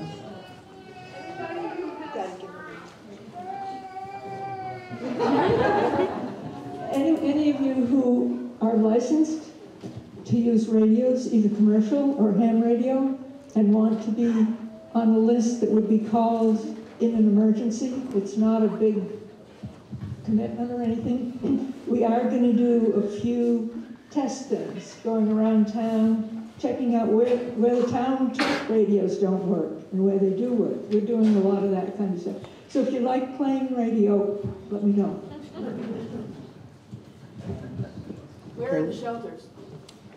We have the primary shelter, uh, as, we had, we had a consultation, uh, visit, site visit from American Red Cross, and they said, House Elementary School is a fantastic place for a shelter. So this is our primary shelter, and secondary is Town Hall, and also Maple Corner Community Center, which uh, American Red Cross said it's too small for us to get involved, but you could have your, your, um, your own small local. So those are the three we have right now. Also talking about uh, getting something going at the East Calais Community Center. On that note, I want to mention that the town has also purchased, through, with grant funding, uh, antennas for, uh, in addition to the one that's now at the town hall, at the, um, in, in this building, at the East Calais Community Center, at the, and the town garage and Maple Corner Community Center. So all of these uh, locations could be part of this network of uh, emergency communication, which can re- reach far beyond the borders of Calais. Um, and I'll just say that our emergency management team meets on the second and fourth Tuesday of each month. We alternate between East Calais Community Center and the town hall. So everyone is welcome to join us for those meetings. That's it for now. Any questions? Any other questions? Right Yes. behind, Nick. We have a- Oh, something right here. Sarah. Hi, everybody. Um, Sarah Black. I am not on the select board. I'm just doing the Zoom. Uh, so I just wanted to say real quick, this is my first town meeting, so I'm still learning how this all works. Probably should have done this during the town report part, but I wanted to say a huge, massive thank you to the entire emergency management team. I don't know if you all saw them during the floods. Um, Full disclosure, Jake is my husband, so I saw them all during the floods. And they were out there in the middle of the night at the dam and driving around, and they were working tirelessly, and they have continued to work tirelessly. They spend their Saturdays every weekend doing stuff for the emergency management team. So thank you all very, very much.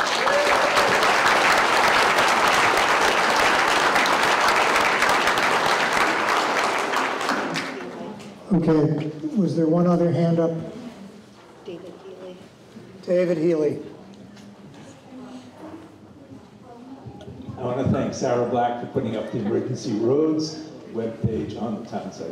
Thank you. Okay, the- is there any further discussion of Article 8? Yeah, we have a hand there. Yeah, thanks. Uh, My is Walter Obrzezinski. I live in the Bliss Pond District. Uh, Just wanted to say, I think it's a great idea. Um, More of a process question. Is the intent that we create this fund and it becomes a line item on the budget every year?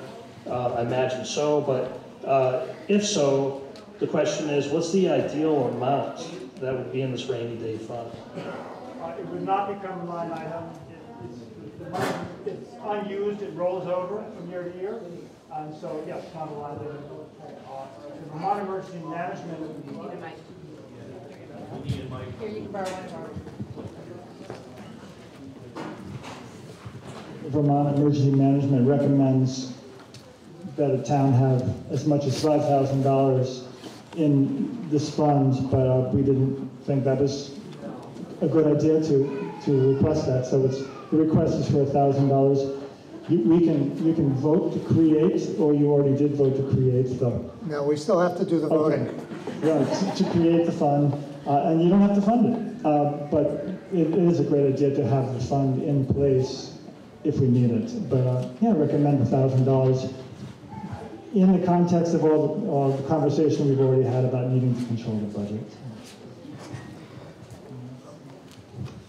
Any further discussion, are you ready for the article?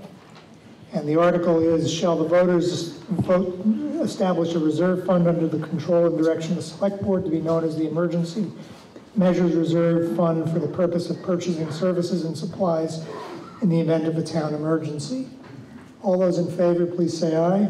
Aye. Opposed? Article 8 passes. Article 9, shall the voters approve a $1,000 appropriation to the Emergency Measures Reserve Fund? Somebody like to move that? Been moved, do we have a second? Been moved and seconded, further discussion? If not, all those in favor of appropriating, approving a $1,000 appropriation to the Emergency Measures Reserve Fund, please say aye. Aye. Opposed? Okay. Take a brief break to hear from our representative, Mark Mihaly, about what's going on down the road in Montpelier. Again, good morning, everybody. I'm Mark Mihaly. I, I want to start off by talking a little more about flood. Um, Friday, we also, the legislature also passed, and I think the governor will sign, legislation that helps towns that have lost a lot of taxes because so much property was damaged. Towns like Johnson and Montpelier and Barre, they've just lost millions of dollars of tax base. So the state's trying to help them out. Aside from that, my view is that the state really is, does an in- inadequate job of helping towns during floods. I mean, Nick and his crew did a fabulous job, but we were basically on our own. Despite assertions to the contrary, we really didn't get a lot of assistance from the state. And one of the things that I found in my work is that a lot of the state work on floods, the future flooding needs help. I'm worried about the future. Um, Climate change means there's going to be a lot more rain. We can't do rear view mirror planning. We have to think about the future. It's not going to look like the past. In 2011, there was enough rain that Marshfield Dam almost failed. They, we came close to having to open the floodgates. If the floodgates of Marshfield Dam were to be opened, the villages of Marshfield and, and Plainfield, as you know them, would disappear. And they would disappear within less than an hour. And there are no plans that are really good for evacuating people for emergency response. That dam safety is regulated, a lot of the dams are regulated by the Public Utilities Commission, which doesn't have any expertise in dam safety. So I've introduced two bills, and they're moving, they're moving through the Senate, and they're in the House as well, because uh, Senator Perchlik and I worked together. And these would change the regulations so that the entity in the state that does dam safety, that has the expertise would do the regulation, and also start a planning process so that we would decide how can the state realistically help towns in the event of future, of, of future flooding. And I, I just think that what happened to us in July will happen again. It'll just happen again. So turning to something more fun, Gabrielle, Colina, are you here? She had to leave. Well, I, she, she was, uh, I have a certificate, which I'm going to give to the cause of her having to leave, her husband, who we fortunately hired. Would you please pass this certificate of appreciation from the Secretary of State uh, to Gabrielle? Um, I don't want to take much time. I'm on the House Appropriations Committee, which is money. Last year, we had a lot of it, and that's because we had a lot of federal money. The federal money is drying up, and so we have a very tight, tight budget. And we are working on all housing, the whole housing crisis, public safety, schools. Every one of these issues is going to require really serious rethinking about how we do business. The school funding, uh, you all know it, you know it particularly.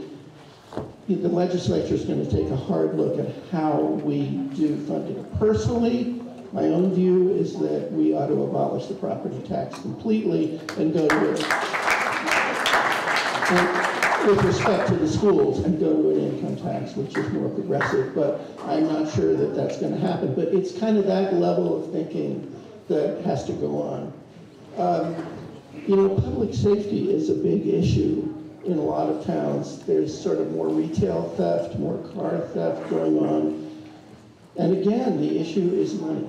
Um, the problem is everybody kind of agrees, all the experts, that if you the way to reduce crime is for people to know that if they're caught, they will be punished quickly. That is, the time between being arrested and tried is quick. Well, in Vermont right now, the time between arrest and trial is two to three years. And so if we want to change that, we're going to have to fund, we're going to need more judges, more prosecutors, more defense attorneys, et cetera. Unfortunately, the current draft budget the governor sent us cuts in every one of those areas. And so I'm just illustrating this, that we're facing really difficult challenge because we're not going to increase taxes on the middle class in Vermont. We're just not gonna. And so we have limited resources and have to think hard about them. Finally, just a note on taxes, speaking of which, remember if you do your taxes, you can get help. There is a free tax clinic, there's a taxpayer advocate. If you need those people, contact me, 454-1070. 454-1070. Call me up and I'll get them, get you to them. Also, there is a child, there's a child credit, child tax credit. You won't, if you don't apply for it. And there's an earned income tax credit. People tend to forget that. Don't, don't forget that. Um, If you want to talk further about the housing issue, we could go on forever, or if you want to talk about the talk about public safety or the environment, come find me and I'll talk to you. That's it. Thank you very much.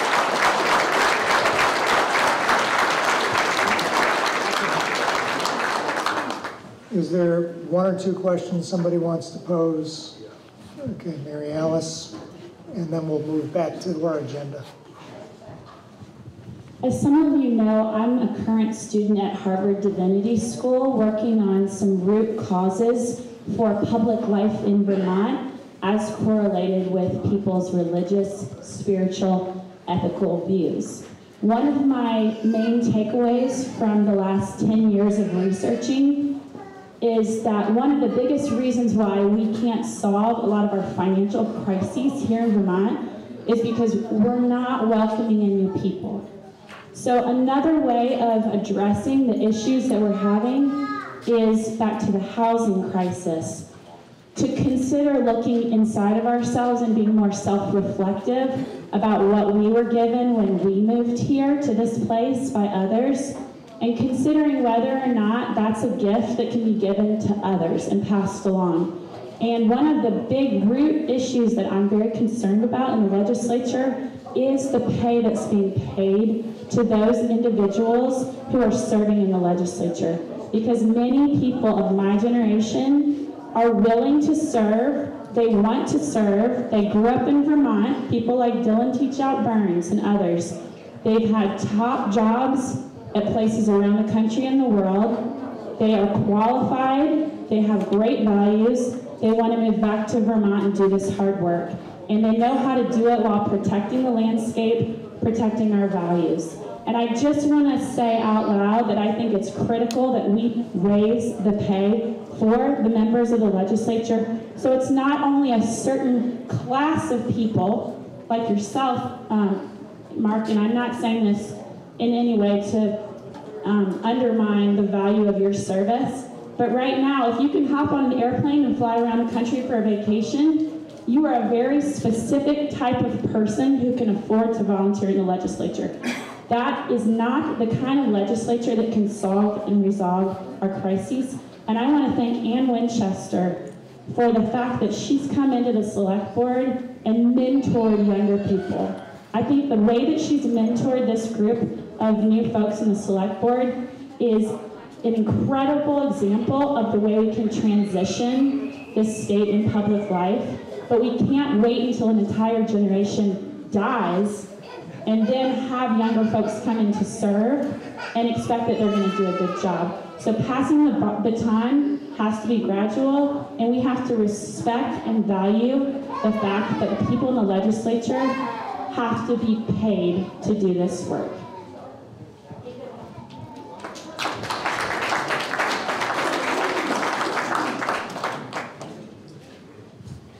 Very quickly, uh, I emphatically agree, and not because I need the money. I mean, I'm retired, so I'm living off my retirement account. Um, there is a bill, there was a bill in the legislature to raise legislative pay. In my mind, I don't think it would have much effect. It, it really wouldn't encourage the young people that Mary Alice is talking about, because it wasn't enough. But what it did do, which is really important, is provide health care benefits.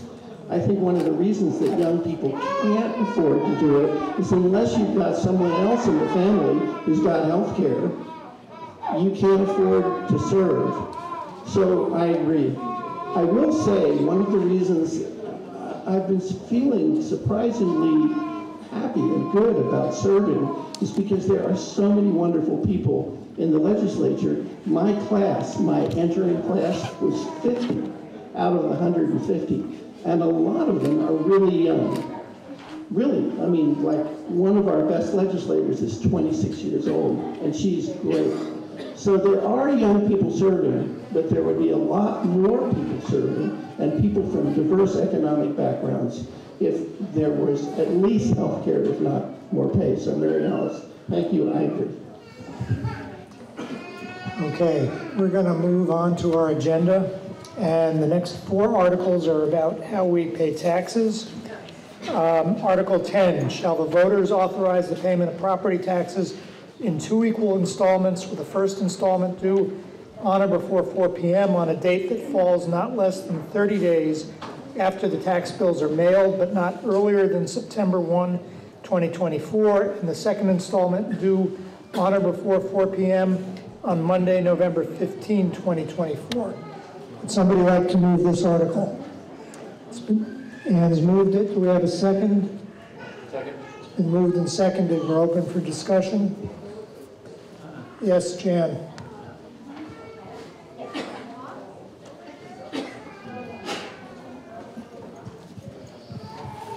I just wonder if there's ever been a consideration for quarterly payments. And the reason why I'm asking, when we first moved into Vermont and lived in Underhill, and we were young, and we didn't have a lot of money sitting around, and it was wonderful to have a quarterly payment system. And I, I don't know why, what the interest is, I mean, I don't know. I just wondered if you had ever considered it, and if you haven't, would you please consider it next year?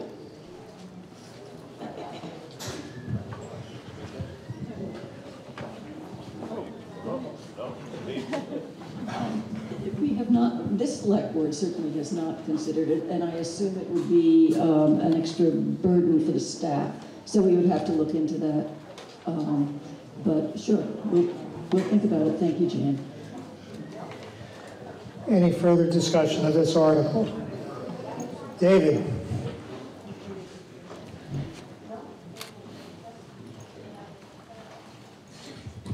The other form of payment that the town hasn't allowed yet is AH, direct direct withdrawal from your checking account. I recommend that the select board look at that. The town of Marshfield does do that. Okay, any other good ideas before we vote? Any other discussion? If not, uh, the article asks to authorize payment of property taxes in two equal installments, with the first installment due on or before 4 p.m. on a date that falls not less than 30 days after the tax bills are mailed, but not earlier than September 1, 2024, and the second installment due on or before 4 p.m. on Monday, November 15, 2024. All those in favor, please say aye. Aye. Opposed? The ayes appear to have it. The ayes do have it, and you've passed Article 10. Article 11, shall each property tax installment payment be made via one of the following options? By delivery to the treasurer by 4 p.m. on or before the due dates as set forth in Article 10, by U.S. Postal Service with postmark on or before the due dates as set forth in Article 10, or three, by credit card payment via www.calaisvermont.gov by 4 p.m. on or before the due dates as set forth in Article 10. Would somebody move this article? Ann has moved it. Do we have a second? It's been seconded. Discussion? Yes.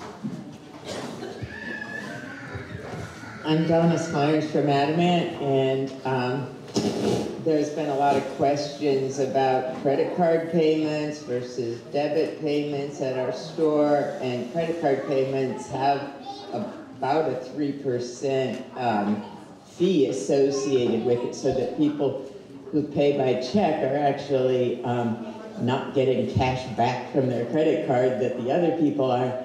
And I was just wondering whether we've ever considered if you do have a, like a sort of cash discount versus credit card payment, because it does cost the town more when you use a credit card.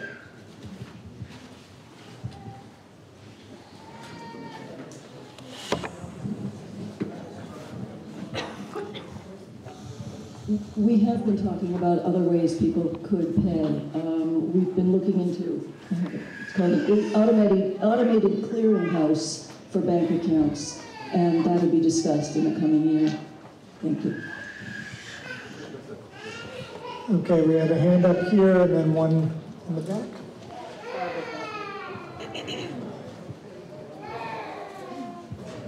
And I'm a little unclear, does someone who pays by credit card uh, pay a fee additional to the amount? Barbara, did- were you wanting to speak to that? Could I defer to Barbara? Thank you. I'm Barbara Butler. I'm the Assistant Town Clerk. I live in beautiful North Calais. Um, the t- It doesn't cost the town any additional funds for people to pay by credit card.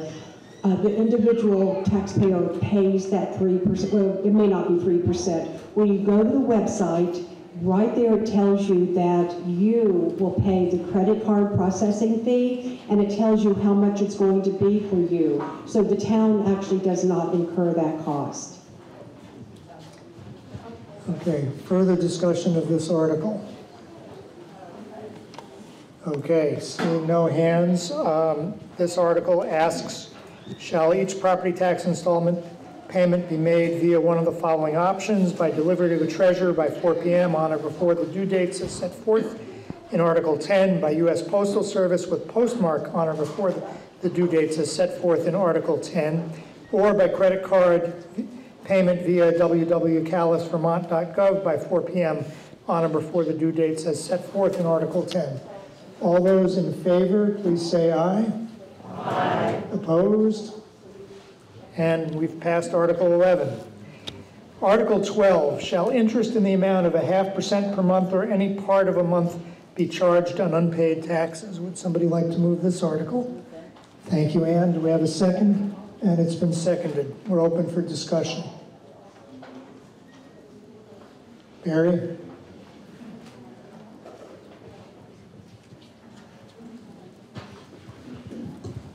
Got a comment on both this and the, the next one, because they kind of go together. It seems to me that six percent, which are three, you know, half a percent is, is not unreasonable, but the eight percent flat fee seems to, when you add it up, to be quite a bit, with people already having trouble paying the taxes. I don't, I don't have a solution, and I know that the, uh, the tax collector, uh, I believe, uh, is paid through the eight percent, but it just, it seems, the combination seems steep to me. So if somebody wanted to comment who's actually more involved.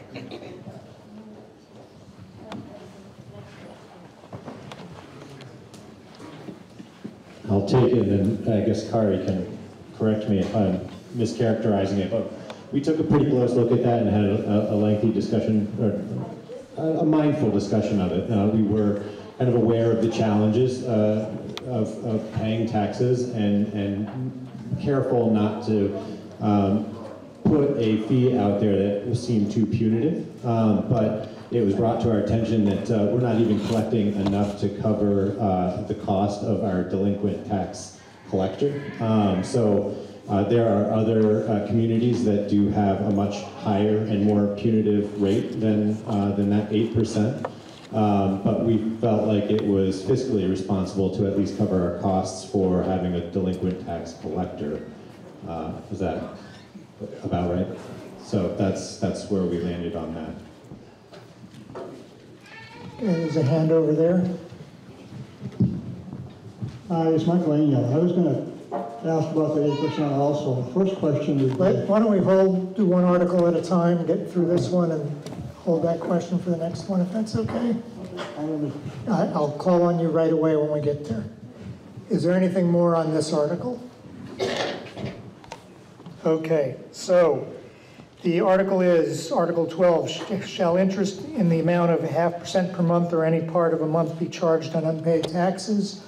All those in favor, please say aye. Aye. Those opposed, say nay. The ayes have it, and we've passed Article 12. So Article 13, shall a delinquent tax penalty be set at 8% of the total amount of the 2024 delinquent tax? Would somebody move this article? Ann has moved it. Do we have a second?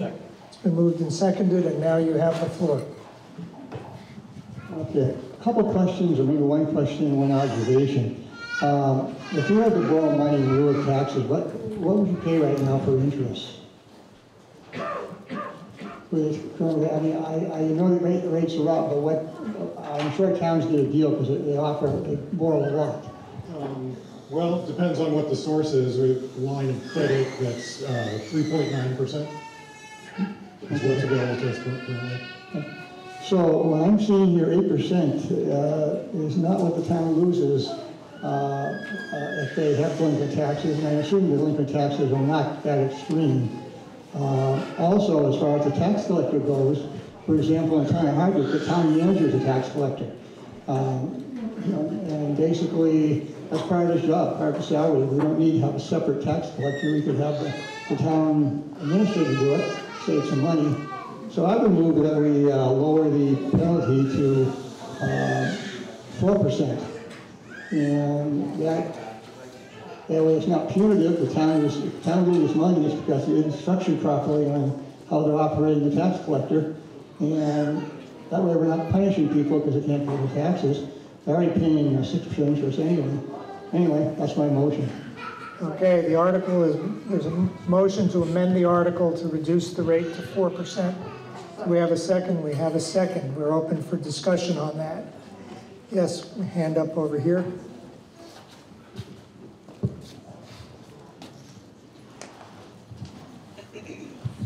Uh, Jack Russell. Mike, I'd like to hear from the, maybe the tax collector. I mean, how much of a problem, I mean, what are we dealing with? I mean, we're, we're making a decision without knowing information. So, um, yeah. So I'm, I'm not the tax collector. Sandra Ferber is our delinquent tax collector and intends to stay on in that role. Just to speak to your point, that that is a role that's defined by statute and, and I believe is just required of us. It often goes, is combined with the treasurer, but it is a separate uh, function for the town. Also, it, I think it used to be the case that the delinquent tax collector would be paid out of the proceeds that they, they gathered. That's not the case anymore. Um, but I was going to say to the point that Jordan made, we are not covering the expense of, um, of our delinquent tax collection through, um, um, through the proceeds at 3%. And specifically in 2023, we had 216,000 approximately in delinquent taxes. Uh, and uh, the, we paid our delinquent tax collector 11,000. So we were coming in well below that, over 4,000 short. So in a sense, we've been subsidizing delinquent tax collection, um, you know, um, as a town.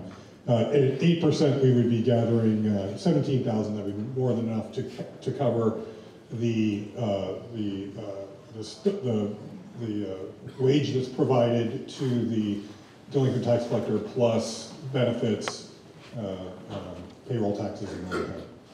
The other uh, point that Jordan also made is that we're not in line with the towns around us. We did a survey of surrounding towns. Worcester, Marshfield, Plainfield, Cabot, and East Montpelier, they're all at 8%, uh, plus a 1% um, um, um, interest rate. Barre City starts at 3% for the first month, then goes to 8% after one month. And Woodbury seems to be the outlier. They're at half a percent for the first month, and each month it goes up a half percent, which seems unnecessarily complicated to me. But that, so that that's where the you know the surrounding towns are. The third factor that was discussed when when this came up was that uh, three percent may not be sufficiently motiv- motivating because of the sort of the market rates out there. So three percent um, essentially. Um, could be treated as almost a low interest loan as that the town is making. So certainly well below credit card um, rates at this point. And then just last to point out that the, um, I know Sandra takes this very seriously to work out payment plans and be as, as accommodating as possible when there is hardship and people in need time to make payments.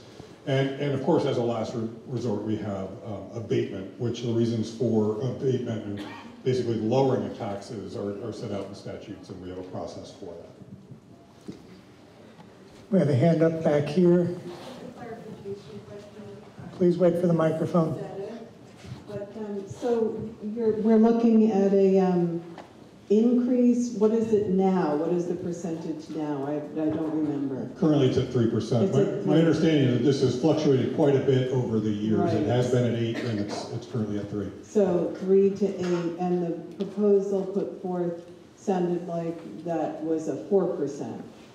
That's correct. Uh, That's the amendment that we're being asked to consider now. Okay. Okay. Any further discussion? Yes? Has the amount of delinquency shifted in relation to what the, the tax penalty is? Or do they seem to not really be correlated? You repeat the question, sorry, I'm just taking it. Yeah, so Has the, deli- has the amount that we have in delinquent taxes, is it in some way correlated? So the years that we've been at three percent, does it seem to go up, how much delinquency? in the years that we're more like at eight Yeah. percent, does it go down? I, I haven't that? looked at that, I don't know what the longer term trends are, that's a really good Thank question. you. We have a hand up in back, and then we'll come over this way. Hi, Brian Stern. Can you just give us a definition of what a delinquent tax is compared to the unpaid or late tax? They're the same, delinquent, it means late. Yes. No, Does that- Barbara? Barbara, do you want to get your microphone? Okay, you can probably hear me. No, wait for the microphone, please. I promise, all day long, people have been saying they can't hear without the microphone. Okay, thank you. There is a difference between a late payment and a delinquent payment. Your, if you do not pay your September installment on time, that's late.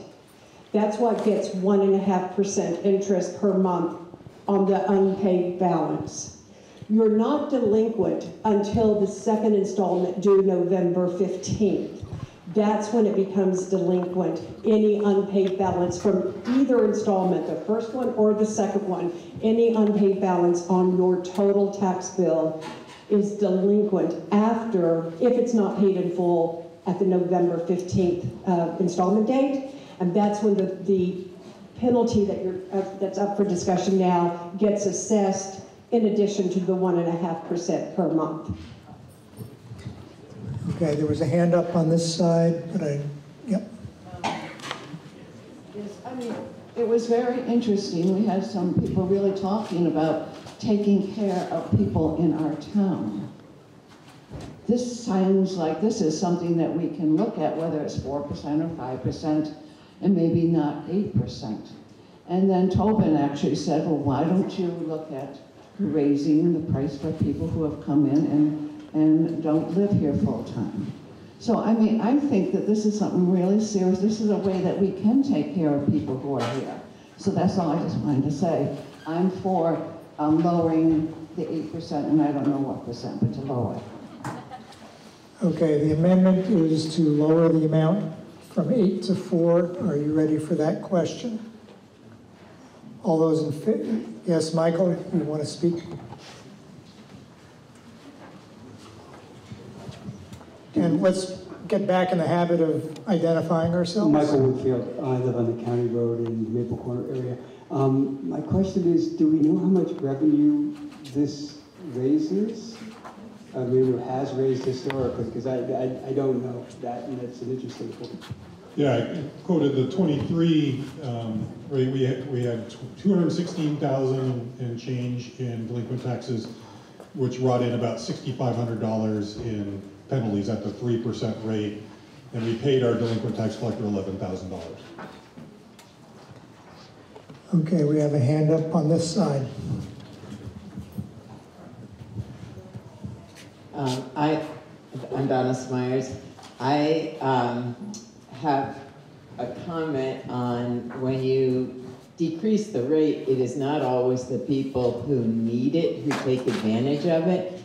And I think the abatement program is appropriate for people who need tax relief. Um, and if you allow people who are good with money to get away with paying less, they tend to be the ones who take advantage of it. And I think it's more appropriate to have a fairly aggressive tax abatement allowance for people who are in need rather than allowing people who actually have the money. Um, I can think of some politicians with lots of money who will not pay unless they absolutely have to. And, and I don't think that the, you know, the billionaires who can make 5% should keep their money. I mean, not that we have them here, but I just, I think that we should pay as we can and, and, and encourage people to pay on time. Okay, we have a hand in the middle. Uh, My is Jonathan Hertz. Just a very quick question. The um, uh, the proposals mentioned a half a percent per month, and Barbara, you mentioned one and a half percent. Can you just clarify that for us? I misspoke, you are correct. Okay, I misspoke, it is half a percent, of one half of one percent. Is what I meant to say. Thank you.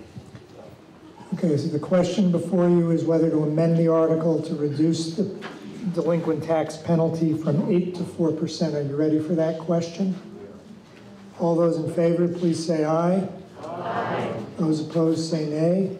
No. The nays appear to have it. The nays do have it, and the amendment is defeated. We're back to the main question, which is whether or not a delinquent tax penalty should be set at 8% total amount of the 2024 delinquent taxes. Are you ready for that question? Oh, We have a hand up in the middle. Back 30 years ago, I got that 8% penalty, even though I had stuck my payment in the mail, but the mail got lost.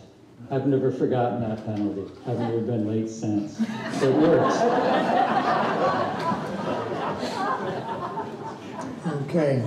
All those in favor? Oh, I'm sorry. I'm just wondering if there's a way to parse that this distinction, who is sitting on the egg, not, who's, who's not paying un- until they can pay in full, and is there a way to, to understand what those populations are? You know, who, who, we're a small town, are people not paying, who can pay? What's happening? Like, who, who, who are we talking about?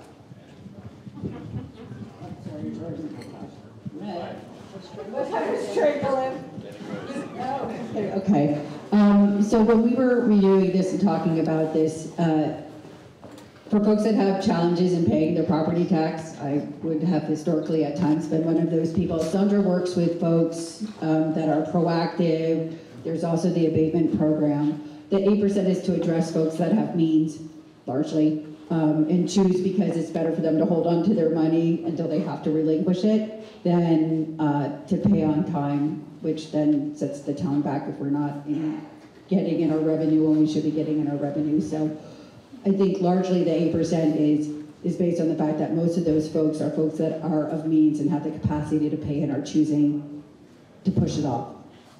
And then that the folks that are struggling financially are, Sandra works with those folks. And as Donna had stated, we have abatement and other programs that kind of help. I mean, it's not a, it's not perfect, certainly some people that are struggling to pay are probably gonna get caught in that eight percent. Um, but it's largely to encourage people that have capacity to pay and are choosing not to. You have a hand up in front. Cynthia Dardenhorst. Um, historically, we used to publish a list of people who are delinquent in their taxes to embarrass people into paying them. We don't do that anymore, but I think there's enough discussion here that we should form a committee to figure out what Calais should do about their taxes. And I offer to be on that committee, but I don't want to do it alone. And we have a hand up in the middle in the back.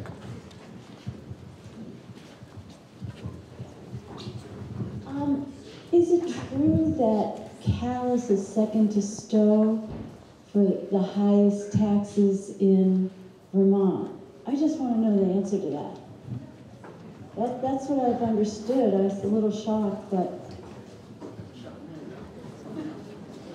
I don't think anybody, I'm looking at, I don't think anybody knows the answer to your question. Cynthia, join my committee and we can find out. I need help sometimes, you know, so I'm just, I guess, a lot of people do. Are you ready for the question? And the question is, what, Barbara? I'm Barbara Butler. I also want to remind you that even though we have two equal installments due September and November, that you're not limited to paying your tax burden at that time. That can be a lot of money for different households to have to come up with that two months apart. So I just want to remind you that if you, if it works better for you, to please remember, you can do household budgeting and you can make monthly or quarterly payments toward the tax bill that's going to be coming to you later in the year. And we will credit your tax bill so that when those installments come around in September and November, you've already been paying 50, 100, 250 dollars a month toward it so that you're not having to come up with the whole burden within two months of each other. So we encourage you to think about uh, household budgeting.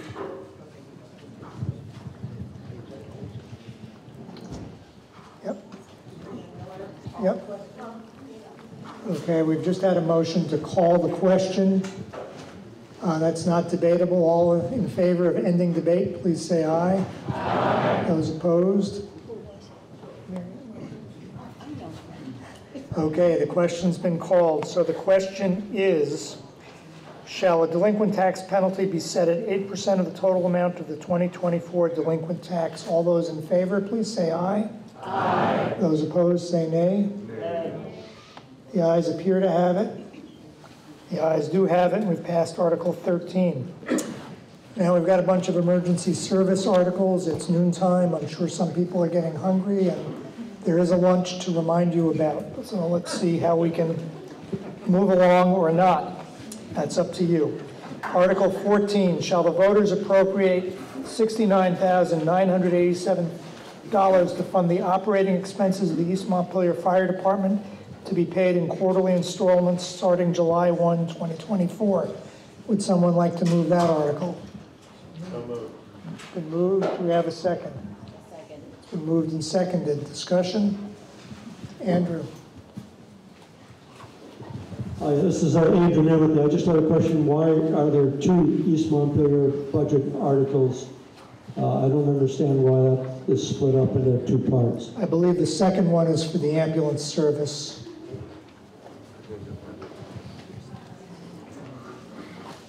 Is there discussion of this article? Yes, in the middle.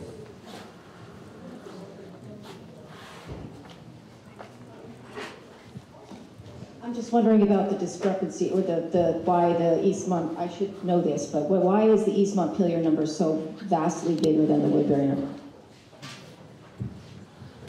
Somebody from the select board want to address that? Uh, James Daly, Woodbury Fire Department. I'm the president of the agency, and I believe we have two representatives from East Montpelier as well. Uh, the difference is, is that Woodbury does not have an ambulance service. Uh, that's your big ensuing cost. Uh, we do offer medical services. We have a fast squad. So we have a group of nine individuals who are EMRs and EMTs who come to your house and help do medical services with the ambulance to hopefully get you on their truck sooner and get you going to the hospital. That's the big difference. Further discussion? Yes. Hi, Pam DeAndrea. I'm just curious, um, can someone speak to why the operating expenses of the East Montpelier um, ambulance, and I guess fire department went up so much? So I'm curious about.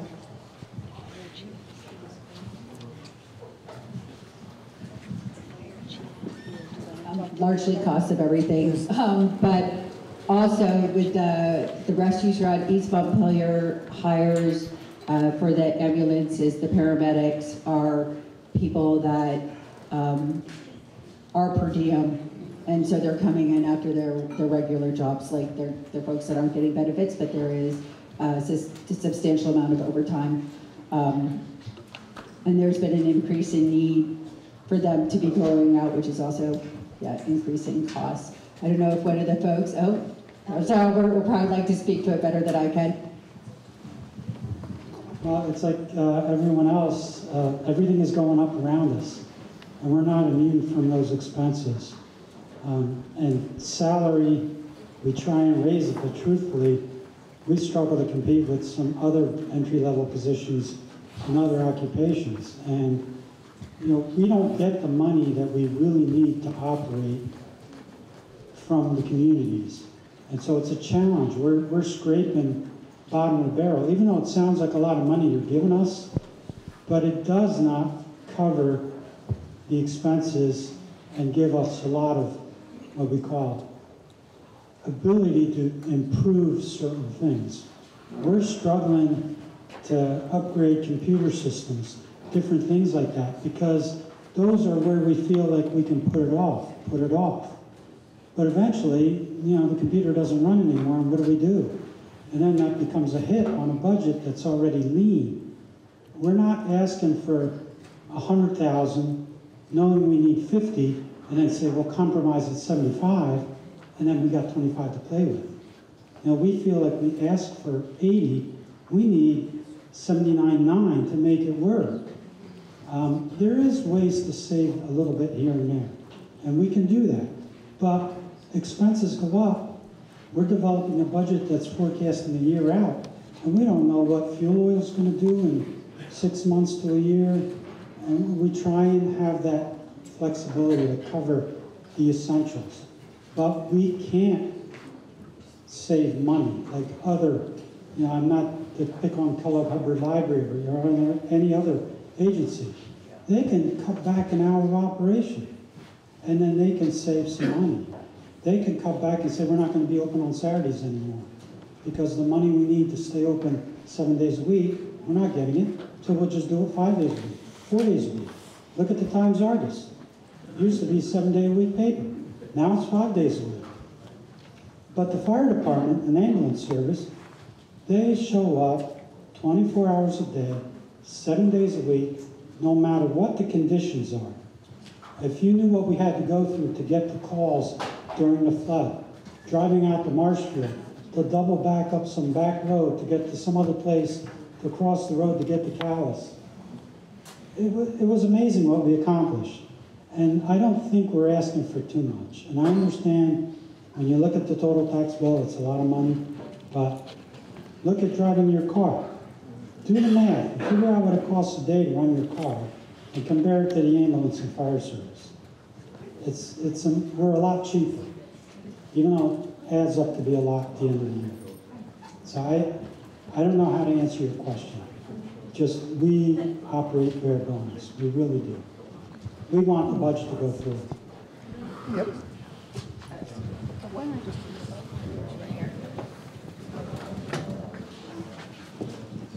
Um, Al, this is for you.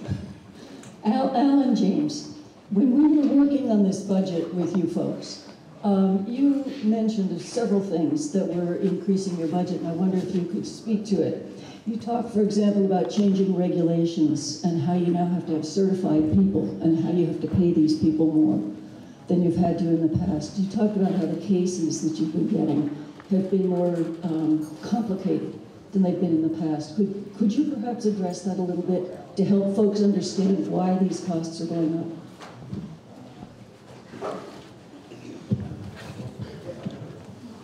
I, right now, I don't have notes to pull from to pull on specific, but the training requirements do go up. The key, the problem is, is keeping our people working for us.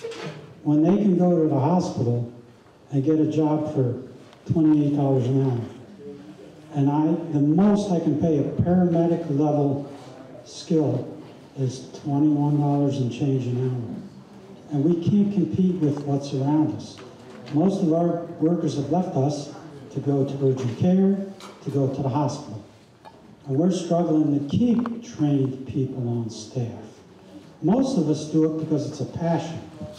I respond with the ambulance. I don't ask to get reimbursed. I donate my time, everything I do. The hours that I spend training, going to meetings, showing up here and there and everywhere, I do not bill for my time. I get a stipend. It's $500 a year to be the fire chief. And that's all I get for that. But the call volumes are getting more. We're dealing with more drug-related issues with overdoses.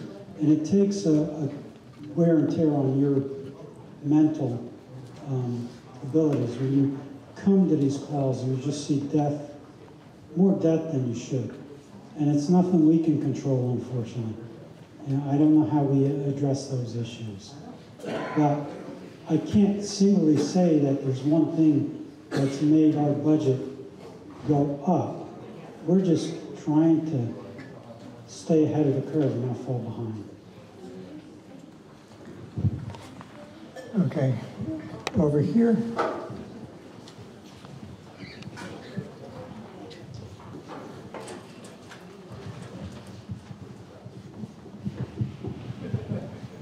Hi, Rachel Seeley. Um, I support the request that you have for East Montpelier. I will absolutely be voting yes. I did notice that Woodbury was able to provide us with the calls breakdown between Woodbury and Calais, and it would be really helpful, I think, in the future to have that information, because I think those numbers really help tell the story of how much work East Montpelier Fire Department does for us here at Calais. So just a suggestion for the future.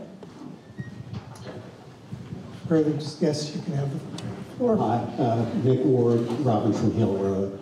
Um, The, uh, the services that are provided are quite extraordinary, and I realize that it's a variable cost service. You can't predict exactly, it's not a fixed cost. And as I look around this room, I think the uh, demand for those services is not likely to go down. Um, I, I know that I, for one, would be pushing up daisies right now had they not made it to my house this time last year and had the technology that was required to communicate with Burlington and, and, uh, and CVH and take care of me. Um, that's expensive. Like Ann, I grew up in, I was a city boy, grew up in Montpelier, and we didn't, weren't half an hour from the hospital. Um, we could just get there. But here, and with our extended mud season that we seem to have, it's going to take even longer. I just thank you for what you're doing, and I think the cost is uh, something we're all going to be drawing on.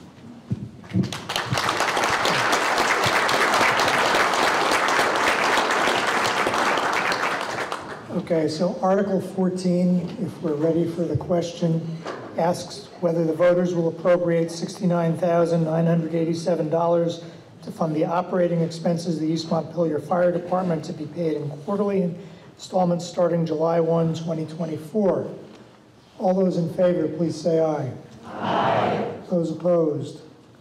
Article 14 passes. Article 15 asks if the voters will appropriate $141,903 to fund the operating expenses of the East Montpelier ambulance to be paid in quarterly installments starting July 1, 2024. Could somebody move this article? So moved. Been moved, do we have a second? Second. Been moved and seconded. Discussion? Yes.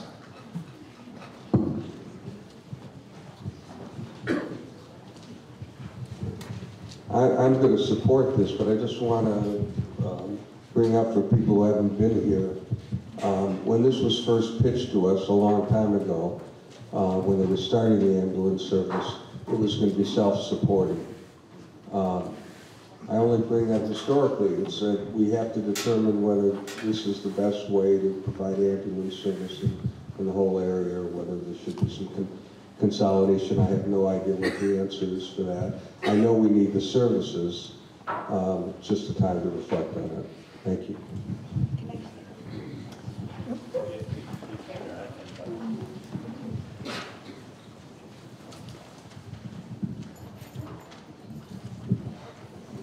I'm Rose Perchlik.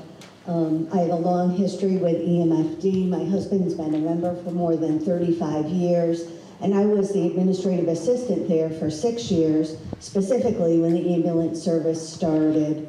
I can tell you that the ambulance does bring in revenue, and um, the annual revenue is split um, into certain funds, and the majority of it goes into the capital reserve fund. So this annual appropriation goes to operating expenses for the ambulance service. Um, but when it comes time to buy um, a new fire truck, a new ambulance, some um, capital equipment like the SCBA, the self-contained breathing apparatus, and um, other big expenses, that money um, the fire department contributes directly from their capital reserve fund. So yes, there is revenue coming in, um, and it's all divvied up, and um, I think it's used wisely. I encourage everyone to support the work of EMFD and the Woodbury Fire Department. We need their services here in town. Thanks, Albert and Sandy.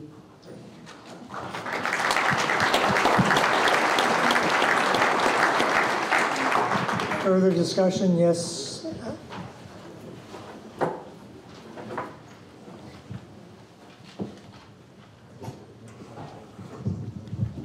I just want to make one other comment that one of the things that's changed from then till now is truthfully the ability to volunteer.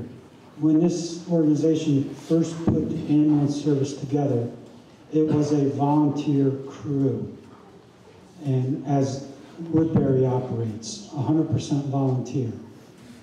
Those volunteers slowly dried up. Now, it's hard to get anybody to commit their free time to volunteer for services, no matter. And if you look at any, any group within this town that relies on volunteers, ask them if they're bursting at the seams and turning people away because they don't have, they have too much help. They make do, and that's what we do. We run a per diem model. Yes, we pay hourly, but it's per diem. So basically, we fight for everybody's free time and pay them for that time. But it becomes a challenge because people have less and less free time. Even those that work can't or struggle to give free time because they want to be with their families. They want to do things outside of their career job. And so that becomes a challenge for us in the next couple years of, and then taxes will go up some more because now salaries and benefits come into play for me to staff an ambulance. Right now, we're lucky. We got people that can give us their free time. We're paying them, but that in the next few years I see is becoming more and more of a challenge because people cherish their time around families. All right, that's all. Okay, the question is, Article 15, whether the voters will appropriate 141, nine- $141,903 to fund the operating expenses of the East Montpelier ambulance to be paid in quarterly installments starting July 1, 2024. All those in favor, please say aye. Aye. Opposed? The ayes have it. We're on to Article 16, which asks whether the voters will appropriate $17,850 to the Woodbury Volunteer Fire Department to be added to the department's truck replacement fund to be paid July 1, 2024. Would somebody move this article? So moved. It's been moved. Do we have a second? It's been moved and seconded. Discussion? Seeing no hands, all those in favor of appropriating $17,850 to the Woodbury Volunteer Fire Department to be added to the department's truck replacement fund to be paid July 1, 2024, please say aye. Aye. Those opposed? And we've passed that article. Article 17, shall the voters appropriate $77,895.27 to fund the operations of the Woodbury Volunteer Fire Department, including $32,000 to be paid to the Capital Replacement Fund by January 1, 2025, and $45,980 $895.27 to be paid in quarterly installments of $11,473.82 each to cover operating expenses starting July 1, 2024. Any discussion? Can we have that article moved? Okay, it's been moved. Do we have a second? It's been moved and seconded. Discussion. Okay, I think we're ready for this one too. So, shall the voters appropriate $77,895.27 for the Woodbury Volunteer Fire Department, including 32,000 to be paid to the Capital Reserve Fund by July 1, 2025, and $45,895.27 to be paid in quarterly installments to cover operating expenses starting July 1, 2024. All those in favor, please say aye. Aye. Those opposed? We've covered Article 17.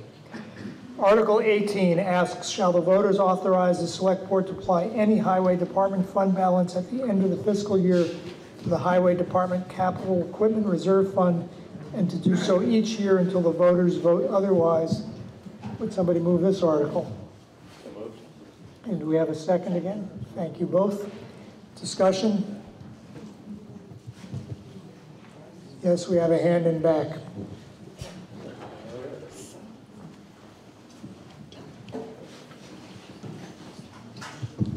Hi, Brian Stern. I just have a question, why it's set to continue until the voters vote otherwise, as opposed to setting just some ridiculously high cap, and then it would stop?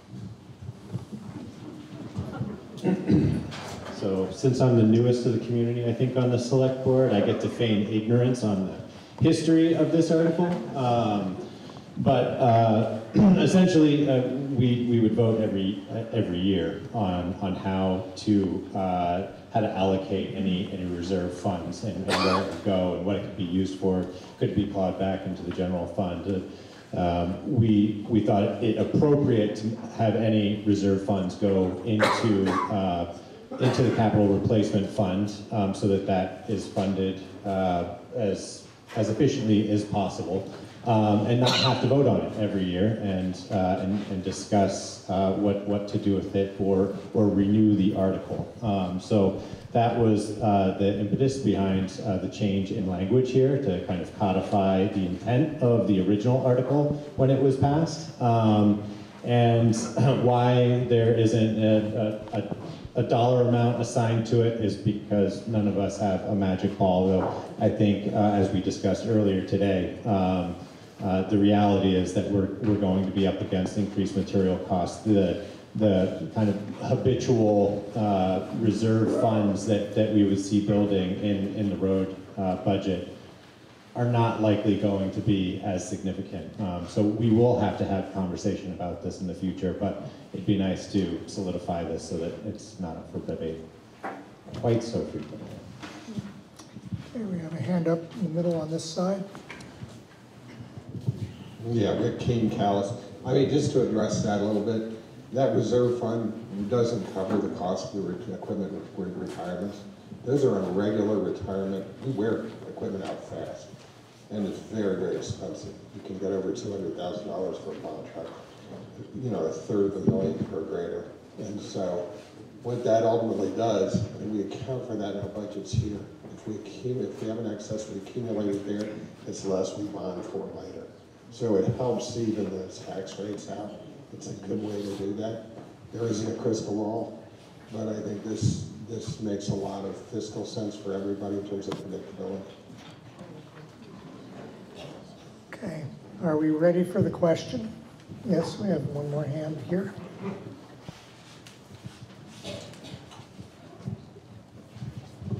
I would like to make a motion that we strike the last line of that. I think it's worth having those conversations each year. Okay, we have an amendment to, to um, to stop at the end of capital reserve fund. You ready for that question? Do we have a second to this amendment? Motion's been made and seconded. Okay, so the, any further discussion? Okay, so the amendment says, shall the voters authorize the select board to apply any highway department fund balance at the end of the fiscal year to the highway department capital equipment reserve fund, period. All those in favor, please say aye. Aye. Those opposed say nay. Nay. Nays appear to have it. The nays do have it, and we're back to the main question. And rather than reading it again, we'll just add and do, the, do so each year until the voters vote otherwise. So, are we ready for that question? Smack.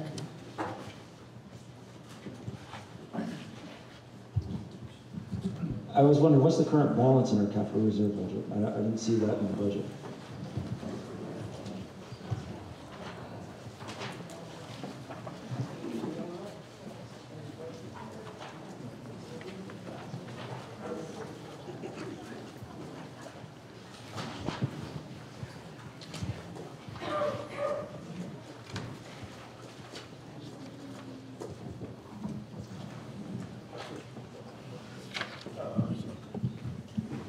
So on page 70 is um, a summary of the, some of the funds at, so and this is as of June 30th, 2023, we had 124,000.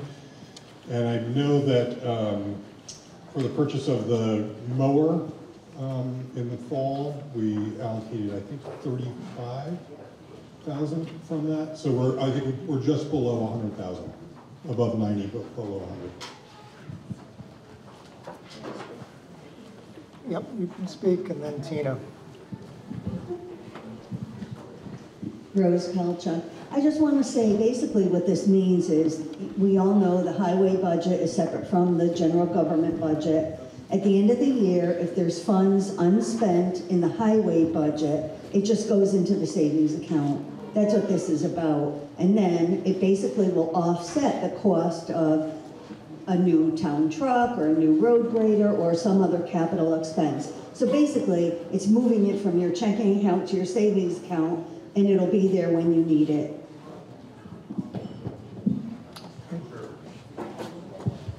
So this is just a question because of the way the article is framed. Uh, I assume that the article to not fund or move funds to the, to the capital fund would have to be an article that would have to be warned. So in other words, citizens would have to file a petition to get it on a town meeting agenda? I I- Tina, I think the answer to that question is that could be the way, or if the fund got large enough, a bunch of people could go to the select board and ask them to change the practice. But yes, somebody would have to do something affirmatively. You.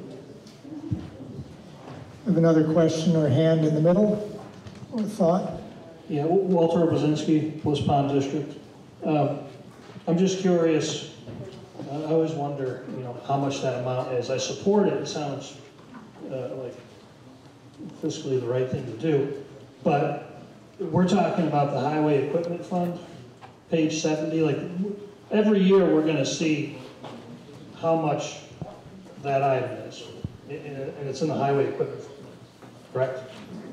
Yes, is what I'm seeing our town administrator say. Okay, thank you. Yes, Scott Bassage. I'd like to move to call the question, and I'd also like to break for lunch. Okay, the question's been called. All those in favor of ending debate, please say aye. Aye. Opposed? Okay, so Article 18, shall the voters authorize the select board to apply any highway department fund balance at the end of the fiscal year to the highway department capital equipment reserve fund and to do so each year until the voters vote otherwise? Please, if you're in favor, please say aye. Aye. Opposed, say nay. The ayes appear to have it. The ayes do have it, and you passed Article 18. We're up to the very last article that we discussed. There's been a request to recess for lunch. Uh, We could do that, or we can try to do any other business that might become before the meeting now. I hope that we don't need a motion to continue, I, I don't think, but if you're, I know that we have at least one article that we've heard about, or one item that has been on Front Porch Forum, and I don't know if somebody's ready to speak to that. Oh, okay, well, well, let's get you a microphone then.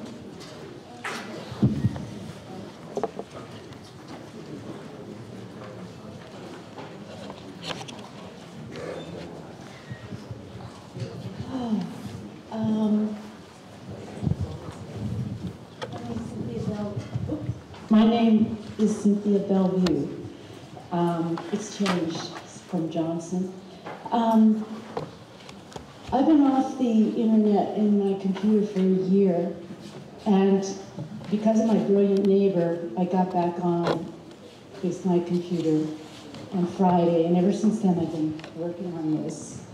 Um, so sorry, I, I don't have a bunch of, I have some prints uh, of it, and Steve will help uh, pass them out. Just raise your hand. Uh, this is a, a Calais resolution. this is the Calais resolution for a ceasefire in Palestine. I started out with this really brief, just a ceasefire, even though I wanted to add, you know, stop the arms, uh, uh, purchases, or I'm nervous.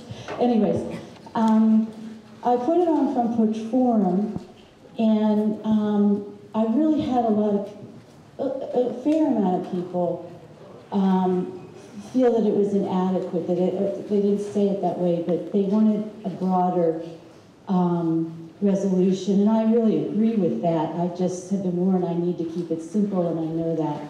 So this is as simple as I could get. And um, there are some copies of this, which I should give to whoever wants them. Um, Here's Steve to help me. I don't need it this minute, but I need it. Okay, well, you might need it pretty soon. And Gus, if you could give Gus one too. Okay, so um, the cap, this is Calais resolution for a ceasefire in Palestine. These are my points. Citizens of Calais, Vermont call for an immediate, immediate enduring ceasefire in Gaza and the West Bank. We condemn all attacks on civilians in Israel and Palestine and demand a release of hostages and detainees on both sides. We call for an end of arms sales to Israel in accordance to the Leahy Law Safeguard Act of 2020, which prohibits arms sales to countries committing genocide or war crimes. We ask that the billions of US dollars slated for Israel's war must now be used for massive humanitarian aid in Gaza. No humanitarian aid should be blocked. Reinstate UNRWA. Recall, which is aid, aid to, to um, Palestine, and has been blocked and, and not supported by our country recently. So we call for change in the United States policy with the Israeli government such that the genocide, occupation, and apartheid of Palestinians will end. And what's not on here is that I would like, I don't know if it needs to be on here, but to send this to our select board, our legislature, our congressional delegates, the president, Kamala Harris, thank you for finally saying it, and um, Gus suggested maybe the UN. So um, yes, wherever wherever we can send this. So um, to say that this this town voted for this, and um, I'd really like a hand count if that's not too laborious, um, because I, would like to know how many people have voted for this, and. Um, anyways, so does anyone that needs a copy of this not have one, or can you share them with each other? Um, So you're offering this as a motion, and now we need a second. Second. It's been moved, moved and seconded to adopt this resolution, which would then be recorded in the minutes. So is there further discussion?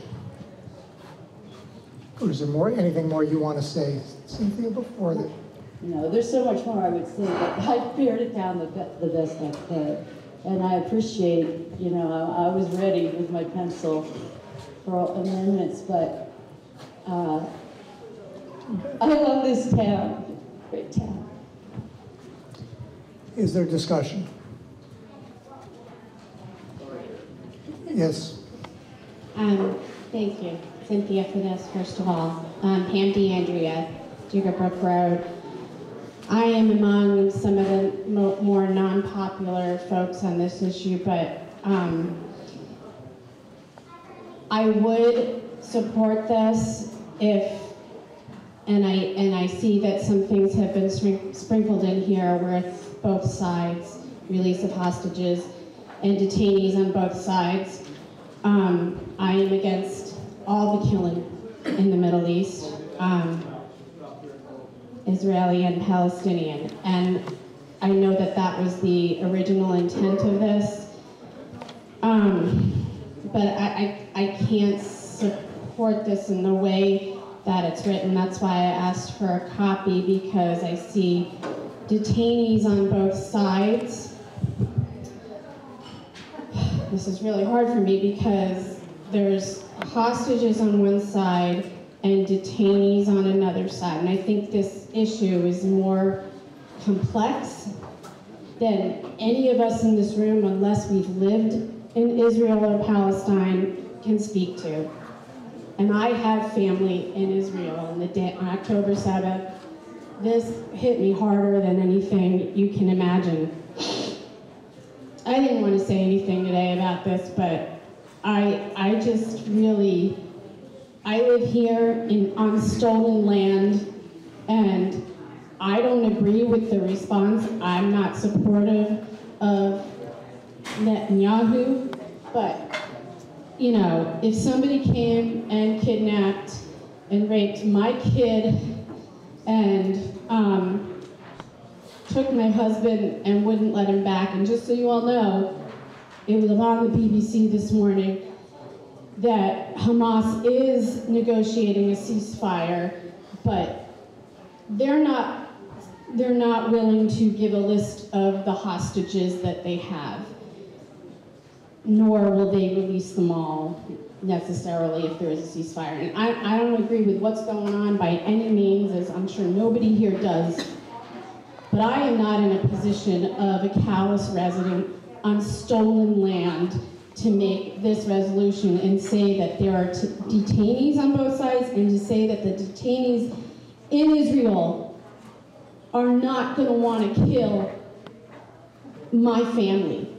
So I, I have a problem with this, and I'm sorry. It, it just and in terms of the words apartheid, yes, the South African government has said that it's apartheid there. There's also security reasons for the blockades, and it, it's just this is not. I don't want my arms going to Israel necessarily, but I don't want my baby niece being flipping her head chopped off. I'm sorry. I can't do this. Sorry. Is there further discussion? Yeah, there's a hand up over here.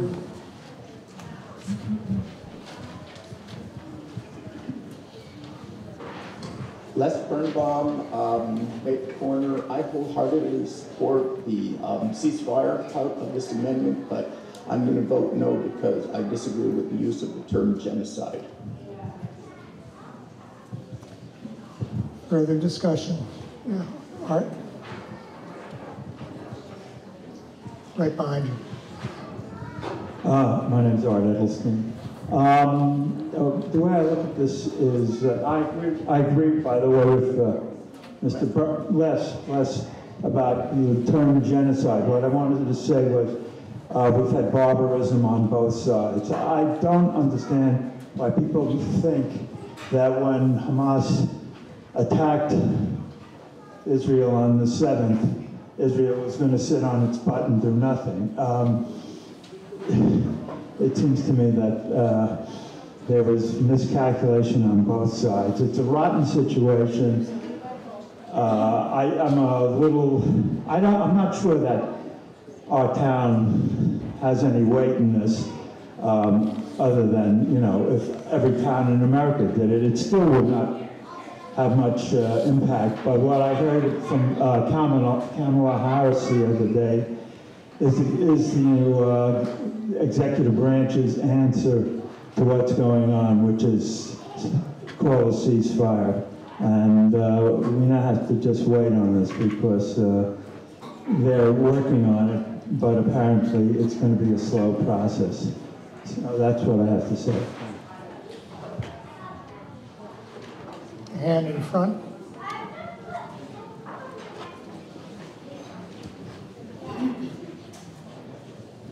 I support this motion, but I'm wondering, Cynthia, if you would uh, uh, take a friendly amendment with uh, condemning Hamas's attack on October 7th, because I think we can all agree that was pretty horrific. And um, we can debate about genocide or what, but there's obviously um, heavy destruction in Palestine, and uh, unfortunately, there's too many men on both sides who deal with this, and a lot of people suffer. But if you would accept something like that, I don't know if it would please people, but I'm still going to support this.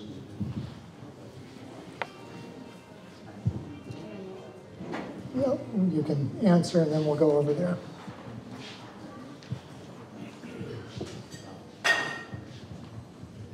Okay, so, um, I felt that I included that. Um, and on, on the second point, we condemn all attacks on civilians in Israel and Palestine and demand a release of hostages and detainees on both sides. Now, I, I earlier did have Hamas, there's been about five drafts, which I just couldn't get to Front Porch Forum. I've had several people, you know, respond, and I know this is a touchy subject, but I, I must say that the United Nations Interna International Court of Justice has said this is plausible genocide. And this is, I'm as upset with my own government. And this is not to, to put us at odds with each other. If you, if you want to, I asked um, the best I could over the internet if you have, uh, want to make a change, maybe you could have the language for it, and, and we could do that now. But I felt that I included that because it, and, and personally, it was a disproportionate, you know, 12 to 1,400 people killed. It's not right for anyone to be killed. Um, it's a, it was a horrific massacre. But now, as of yesterday, it was 30,500 Palestinians killed and over 70,000 severely injured. Imagine children without eyes and limbs. And, and, and, and look at the pictures. I look for, I don't look very much, but it's just devastating. And there's so many things that this, that this, it's a very complicated situation. But I felt that I included that. Um, I, I, if you want to reword that, but, but I think that it's fair to say we condemn all attacks on civilians in Israel and Palestine and demand a release of hostages and detainees on both sides. I mean, it's really broad in general, but I'm, I'm not anti-Semitic, and I don't think this is. Um, it, it, was, and, and um, we, have an, we, we have a law which is being ignored in Washington, which is called the, the Leahy Law, the Safeguard Act of 2020. If you want to check that out, you'll see. I mean, this, this, this covers that and it's being ignored. We should not be selling arms to Israel. And it's nothing against the people of Israel. So, um, Okay, I, I just want to see if we can move this to a conclusion. I, I think you've stated your position, so you don't want to amend it further at this point. A couple other people who want to speak, and we do have a lunch that I people work know, but hard. we've spent a lot of time on a lot of things, and this Yes, is always what I- happens. And I've spent a lot of time on this, and so some other people care. So Yeah, I- I- I'm not, I, I just want to say, this is not anything personal. To, I mean, it's personal, but it's, I've done my best. I, there's been many people got in touch with me, and I've done the best I can to be inclusive with everybody. And um, So if anything's taken out of it, I'd, I'd like the words. I'd like to know. I don't want to take it out. That's what I said. Okay, thank you. Paul? Paul Hammond from South Calais. Um, I've never quite been clear on the difference between a motion to pass over and a motion to table, but I would like to make whatever one is more appropriate in this instance. It's just too divisive for this otherwise really wonderful community. Uh, So, uh, parliamentarian, please let me know which one is right, but that would be my motion. Okay, I think it's a motion to table. They may be one and the same if I check the books. Is there a second? It's been moved and seconded that we table this uh, resolution, which I believe is not debatable. Um, So I'm going to ask all in favor of tabling the resolution, please say aye. Aye. Those opposed? No. The ayes appear to have it. The ayes do have it, and the motion has been tabled. Is there any other business anybody would like to do? And Paul, it's probably the last time you'll be here as a resident from South Calais, but thank you for the many years of service you've given the community. We'll miss you. And Cornelia. Any other business to be done today? And we do have a lunch to get to.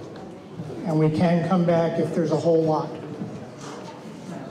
Hi, I'm working at the rabies shot clinic on Saturday at the East Montpelier Fire Department from 9 a.m. to 12 noon to have your dogs and cats vaccinated. $20 per shot. And everyone needs to register their dogs here in Calais by April 1st, right, Tegan? Come to the rabies shot clinic if your pet needs a shot. Thank you. Okay, I believe that by the motion of the people speak, a motion to close this meeting is in order. And if you have other business, post it on Front Porch Forum to make announcements to your neighbors. Do we have a motion to adjourn? Paul, and, okay. Any further discussion on adjourning and enjoying the Friends of Calais lunch? Please say aye. Opposed? We're done. Thank you all.